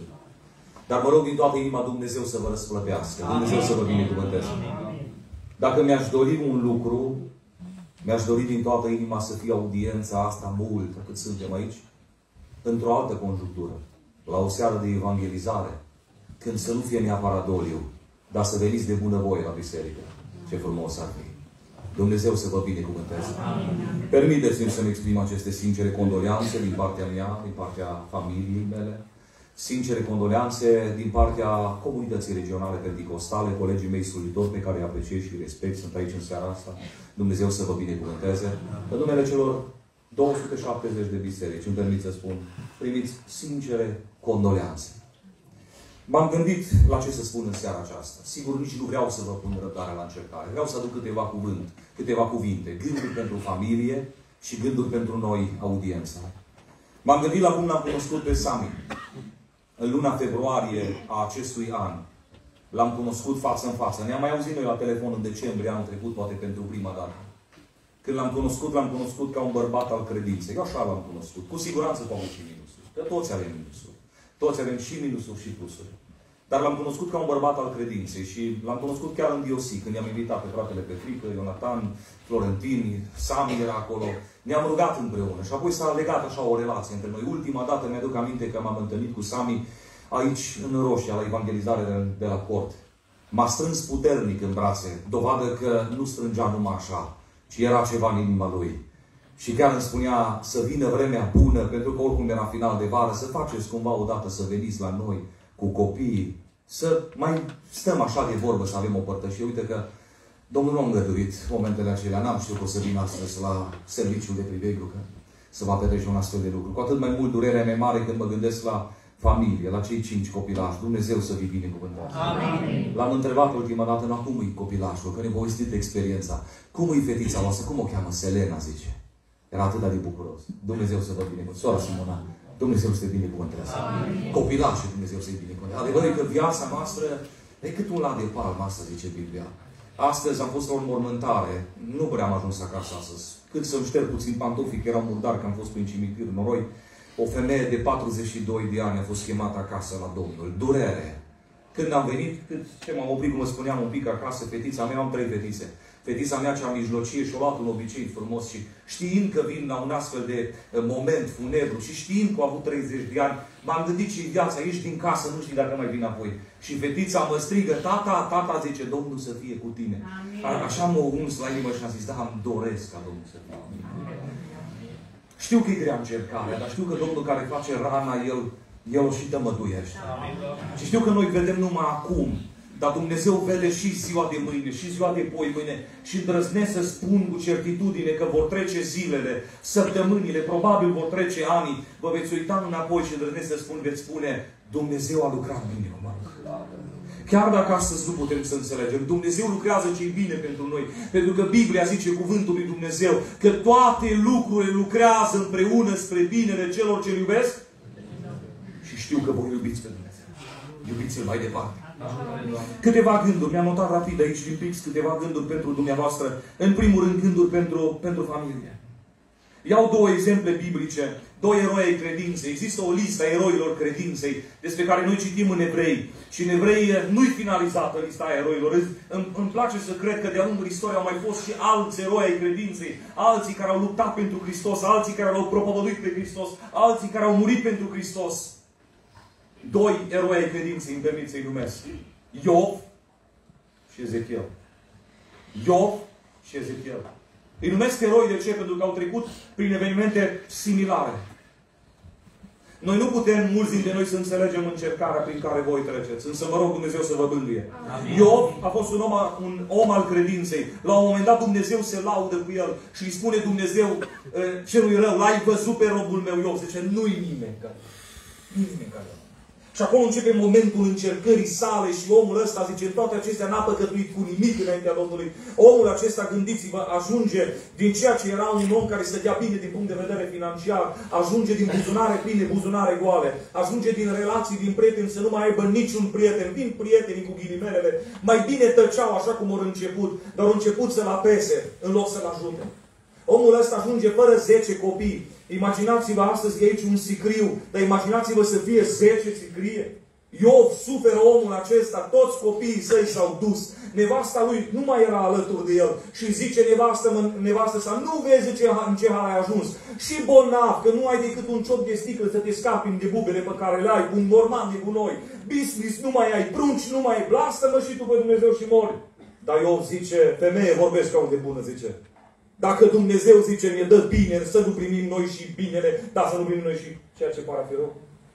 Domnul a dat. Domnul a luat. Numele Lui să fie binecuvântat. Iov este omul credinței care rămâne lângă Dumnezeu. Ezechiel este un om al credinței care de asemenea rămâne lângă Dumnezeu. În vremea aceea, Dumnezeu și cei care iubiți Scriptura, Dumnezeu vorbea prin profeți și în modul ilustrativ, nu doar verbal.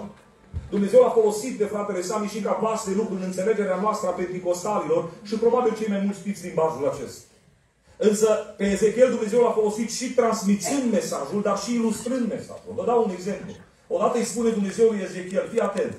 Ești ziua în amiaza mare, Ești zice, ia ce poți la mână, ieși din casă, dar nu ieși pe ușă. Doamne, pe unde să ies? Sparge zidul la casă și ești cu spărtură. Cum, Doamne? Ca să vadă toți ăștia care se iau pe pris, pe ca la țară, oarecând nu știu dacă se mai stă așa.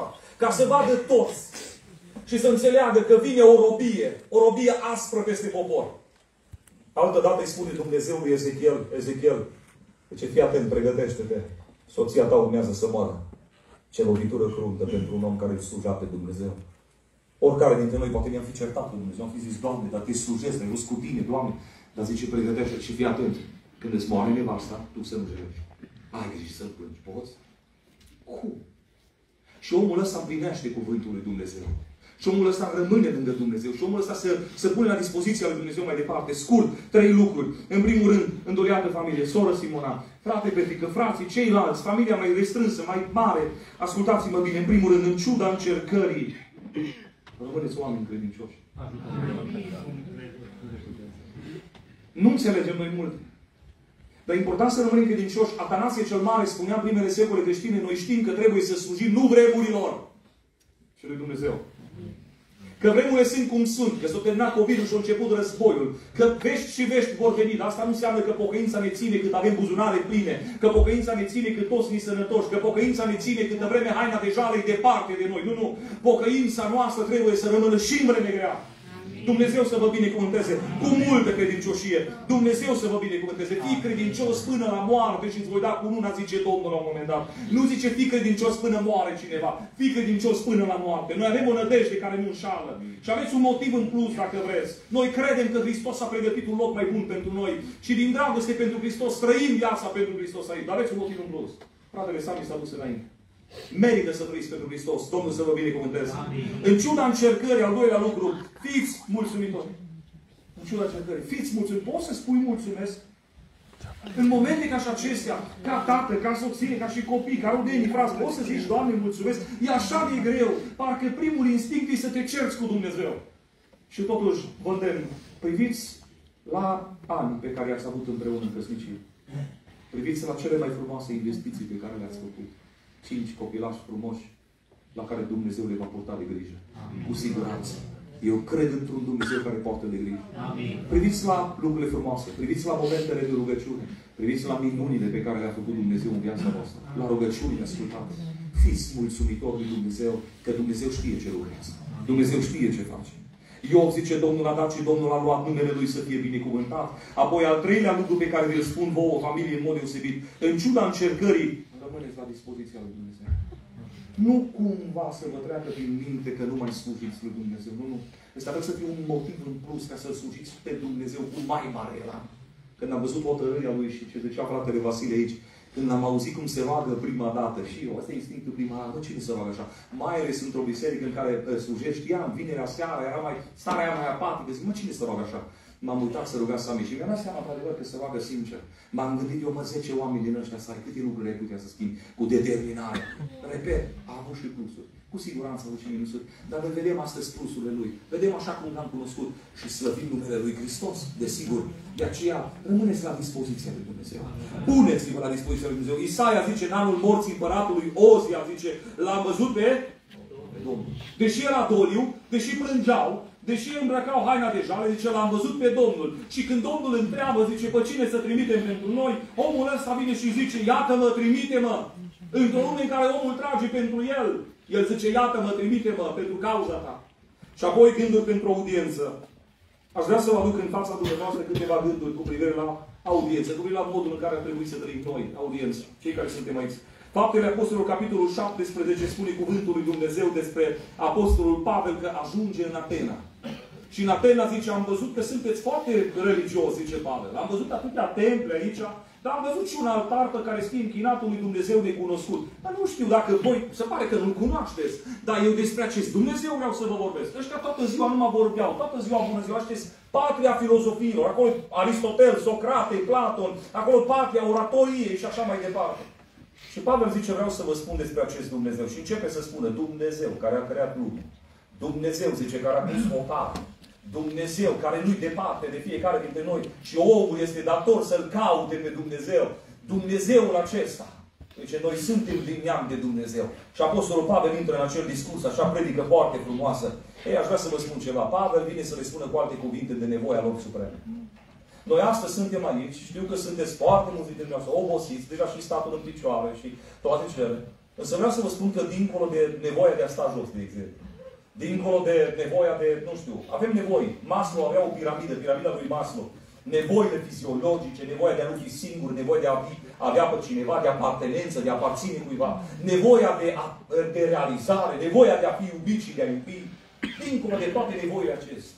Nevoia de a fi cineva, poate, în societate. Există o nevoie de care trebuie să fim conștienți fiecare dintre noi.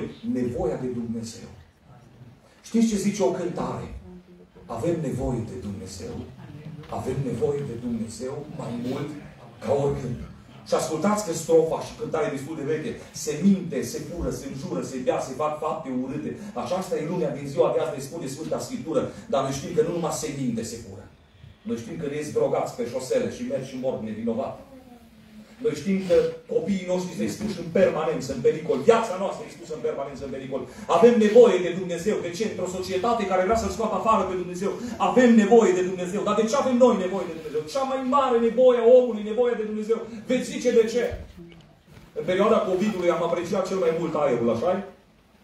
Unii dintre frații noștri de credință, poate unii dintre noi, cei care sunteți aici, au ajuns pe pat de spital și povesteau la un moment dat cum se gândeau ei dacă o să mai am o gură de aer.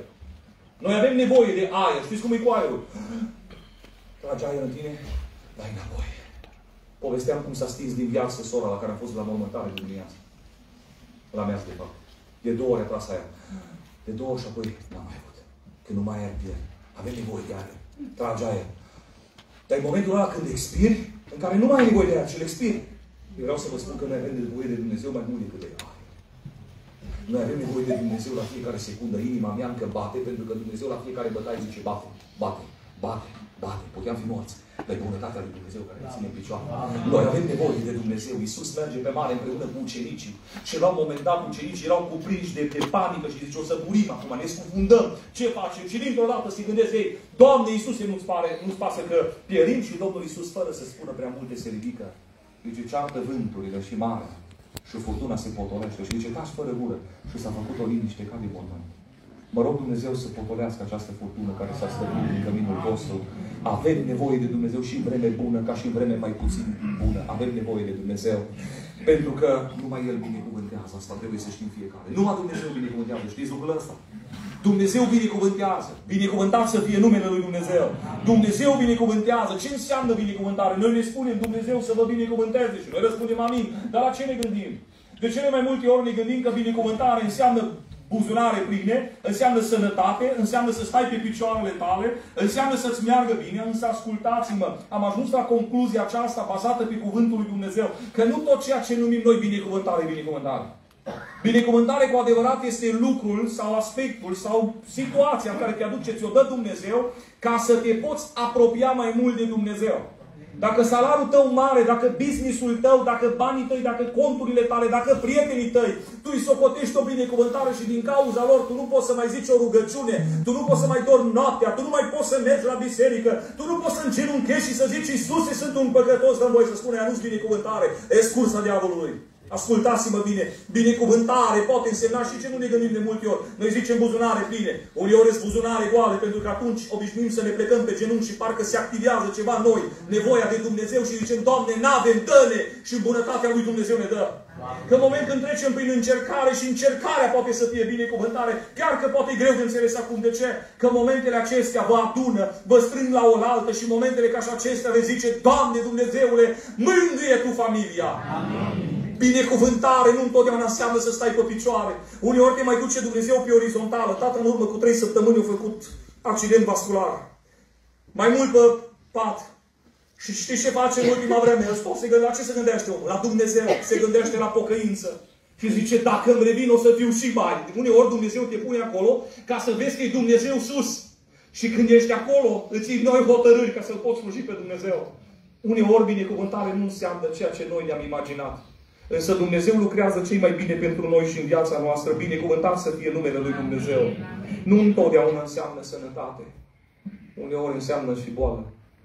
Astăzi am dus o familie la cimitir, soț, soție. Ea era bolnavă de cancer. Dar atât de optimistă femeia asta. Și au zis un lucru. Mă zice, pocăiții ar trebui să înțeleagă că Dumnezeu nu trebuie slujit numai câtă vreme ne de sănătate. Că nu întotdeauna alege să ne dea sănătate. Ne dă și boală. Și dacă vrea să ne ducă prin asta în cer, slăvit să fie Domnul. Amin. Câtă maturitate trebuie să avem creștini. Și ultimul lucru, de, și al doilea lucru de fapt, de ce avem nevoie de Dumnezeu? Pentru că numai Dumnezeu vindecă. Domnul să vindece rana familiei. Amin. Domnul să vindece inima voastră. Amin. Dar Dumnezeu vindecă și bolnavi. Că noi ca biserică ne rugăm și pentru bolnavi și știm că Dumnezeu vindecă. Am înțeles despre cumnatul lui Sami, că nu este bine. Dumnezeu să se atingă. Amin. Noi ne rugăm, că asta e datoria noastră. Și ultimul lucru și cel mai important pentru noi, cel mai important. De ce ai nevoie de Dumnezeu? Pentru că numai Dumnezeu mântuiește. Numai Dumnezeu. Fapte 4 cu 12 spune cuvântul lui Dumnezeu în felul următor. Zice, nu este dat omului sub soarele acesta niciun alt nume în care să fie mântuit decât numele lui Isus Hristos, slăvit să fie numele lui Dumnezeu. Eu și cu dumneavoastră avem nevoie de mântuire. Noi nu ne-am născut creștini. Pavel zice, în păcat m-a zămislit mama mea. Dar tu cer ca adevărul să locuiască în mine. Noi avem nevoie de mântuire. Momentul când primim mântuire este momentul în care îl mărturisim pe Hristos cu gura noastră, pe Hristos ca Domn și Mântuitor personal și ne asumăm în viață și trăim așa cum ne cere El. Cum trăiești? Care ți este viața? Care ți este umblarea? Dumnezeu să ne binecuvânteze. Nu toate drumurile duc la Roma, dragii mei. Unii veți spune, toate drumurile duc la Roma. Știți expresia? Bă, oricum a fi Domnul avea milă de noi. Nu, nu, nu, nu, nu. Nici nu vreau să speriu pe cineva. Există o singură cale, un singur drum și îngust drumul ăsta. Nu merg mulți, pentru că merg pe plăceri, pe drumul plăcerilor. Dar zice, calea asta, o mers Hristos înainte. De fapt, El zice, eu sunt cale, adevărul și viața. Vrei să ai parte de veșnicie? Merită să mergi pe această cale. Și mă rog Dumnezeu să ne ajute. Cum poți fi mântuit?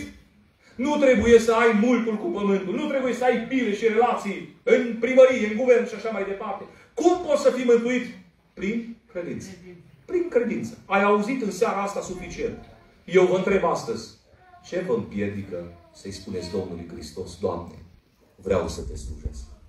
De ce trebuie să fie iarăși în mormântare ca să ne dăm seama că trebuie să ne apropiem de Dumnezeu? Dumnezeu să vă binecuvânteze. Mântuirea am primit fără nicio plată, zicea Niculiță Moldoveanu.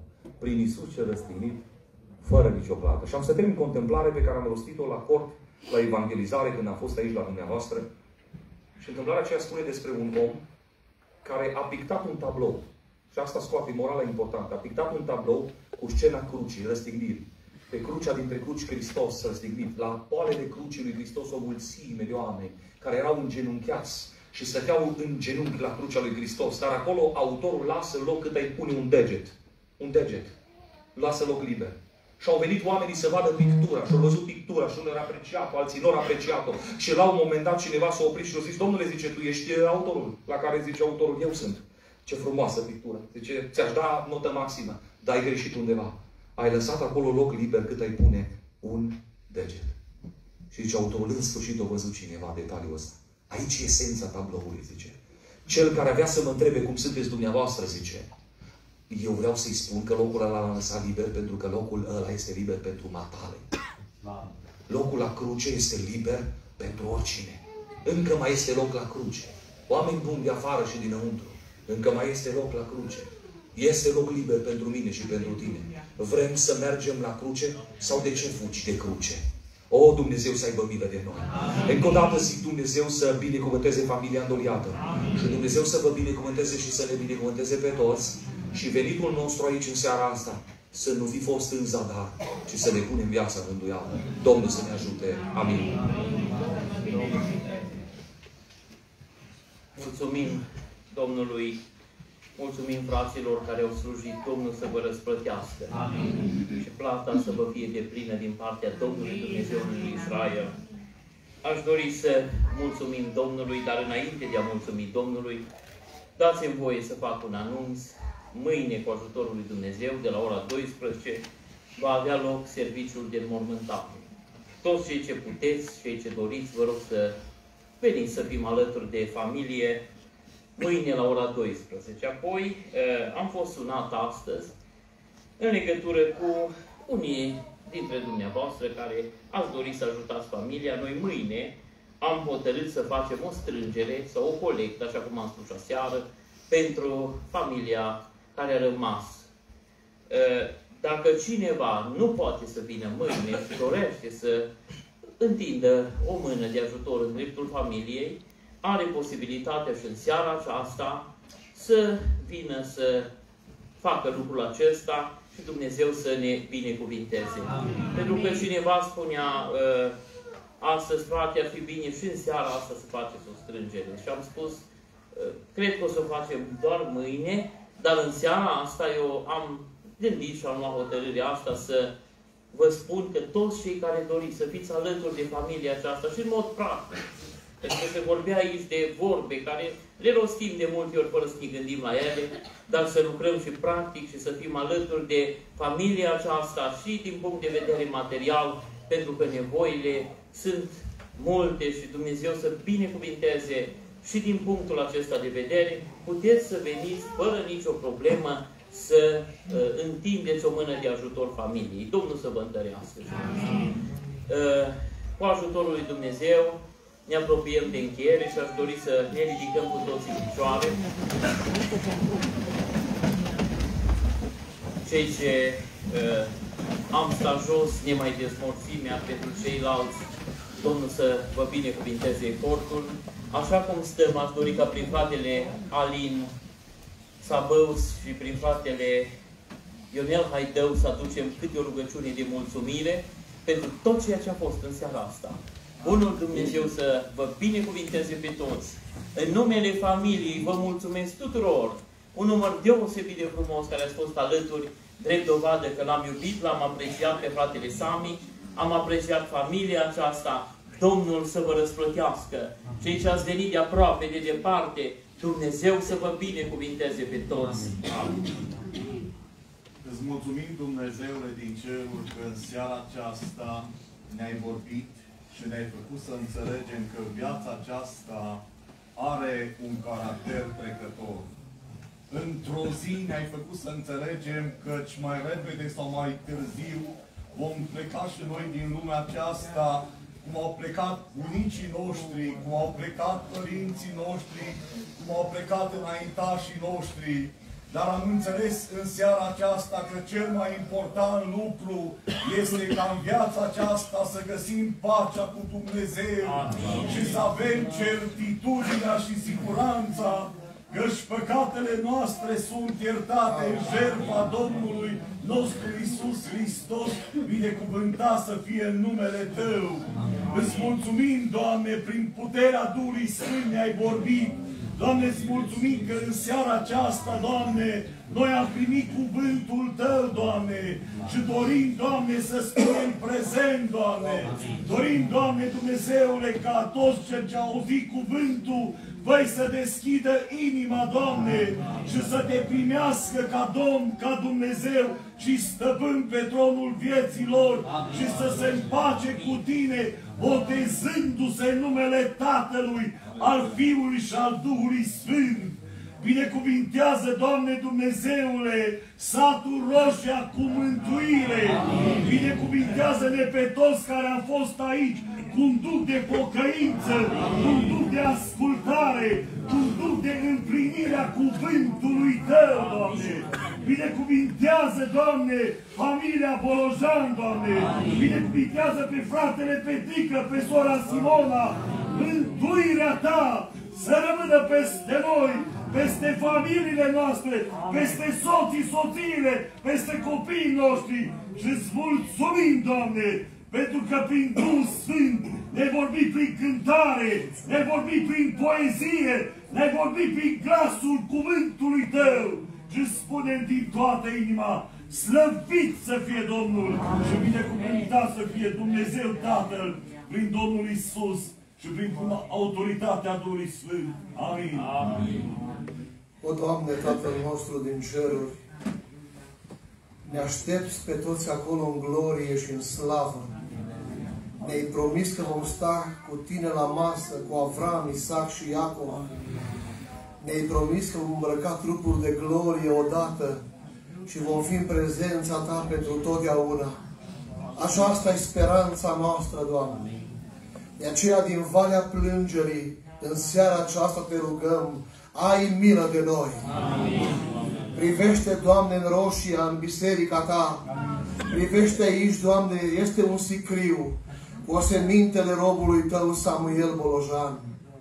Doamne Dumnezeule, privește familia îndoliată. Doamne, privește copiii aceștia care rămân în mâna Ta și apoi în mâna mamei lor și a bunicilor lor și a bunicului lor. Doamne, privește întreaga adunare.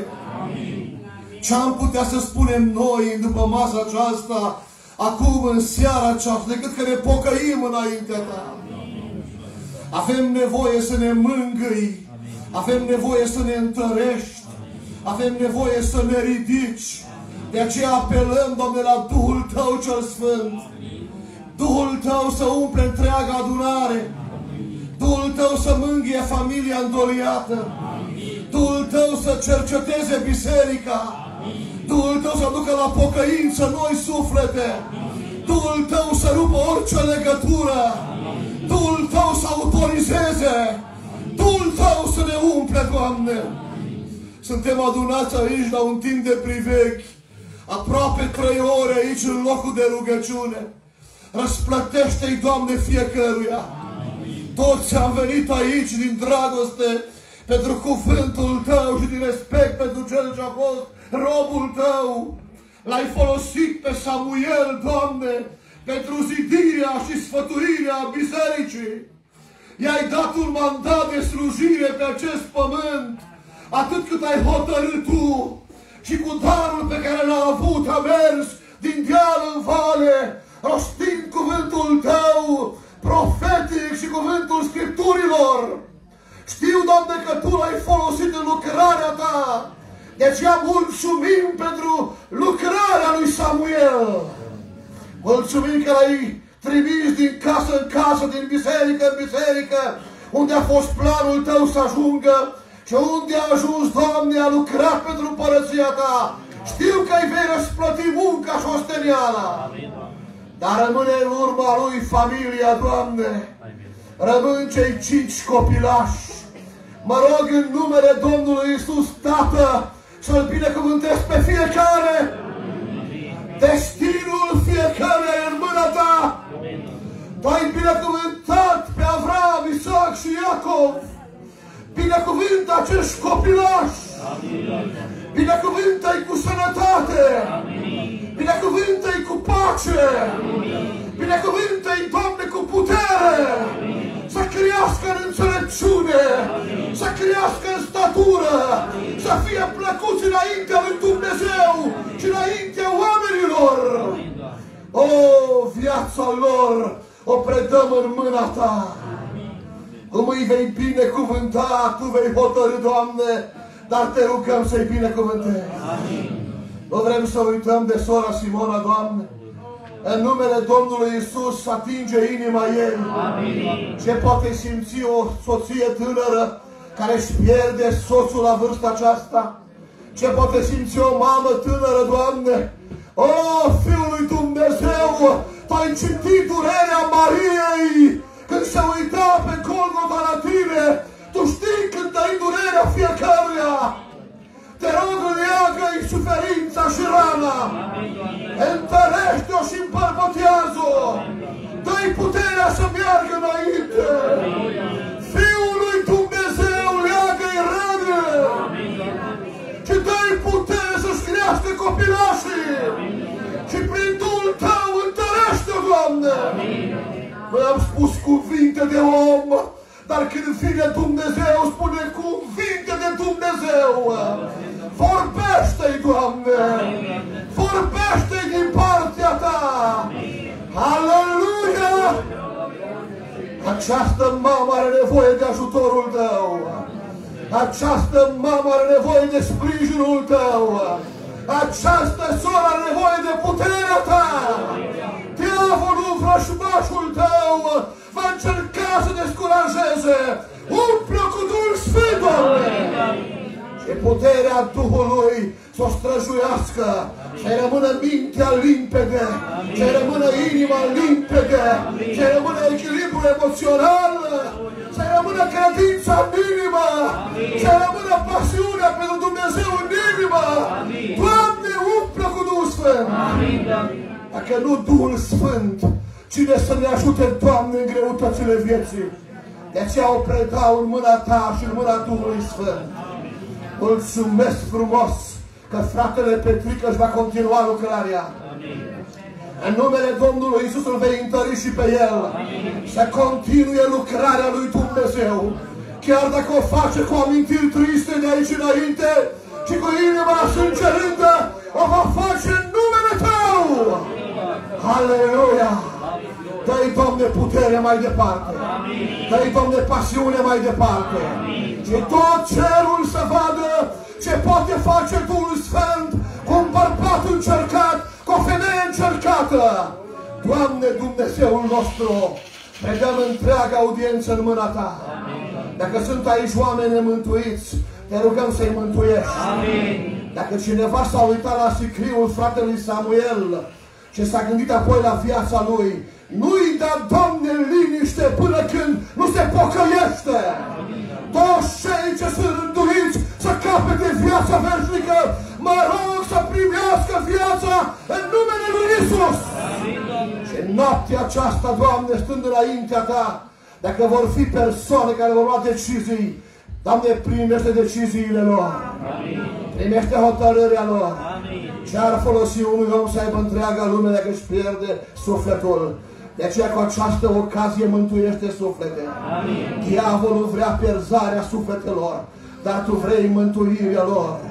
De aceea și cu această ocazie mântuiește oameni. Amin. Și în locul fratelui Samuel adu noi vrăstari pentru împărăția lui Dumnezeu. M-am rugat în numele Domnului Isus cu gândul la marea revedere în făstuhul lui Dumnezeu, că însuși Domnul cum strigă va chema biserica. Atunci, Doamne, ne vom revedea toți părinți și copii, bunici și nepoți, în făstuh, echipați și transformați, mergând acasă la nuntă, în fața Dumnezeului nostru. Până atunci, fie peste noi un duc de pocăință, un duc de mulțumire și toată slava să fie a Tatălui Ceresc, a Domnului Isus Hristos și a Duhului Sfânt care este cu noi până la plecare. Amin. Amin. Vă rog să vă reașezați. Dumnezeu să fie slăvit din punct de vedere al slujirii. În seara aceasta slujba de priveghere s-a încheiat. aminteam ca seară și spun și seara aceasta, cei ce mai doriți, să mai rămâneți alături de familie aici, putem să rămânem fără nicio problemă. Dumnezeu să ne ajute să ne rugăm în continuare și să mijlocim pentru ei și să nu uităm în rugăciunile noastre și Domnul să fie cu noi cu toți. La plecare din locul acesta, Domnul să călătorească cu cei ce călătoresc, Amin. să păzească sufletele și trupurile noastre și Dumnezeu să vă binecuvinteze cu toți. Amin. Cu harul și pacea Domnului, slujba s-a încheiat, Domnul să fie cu noi cu toți. Amin. Amin.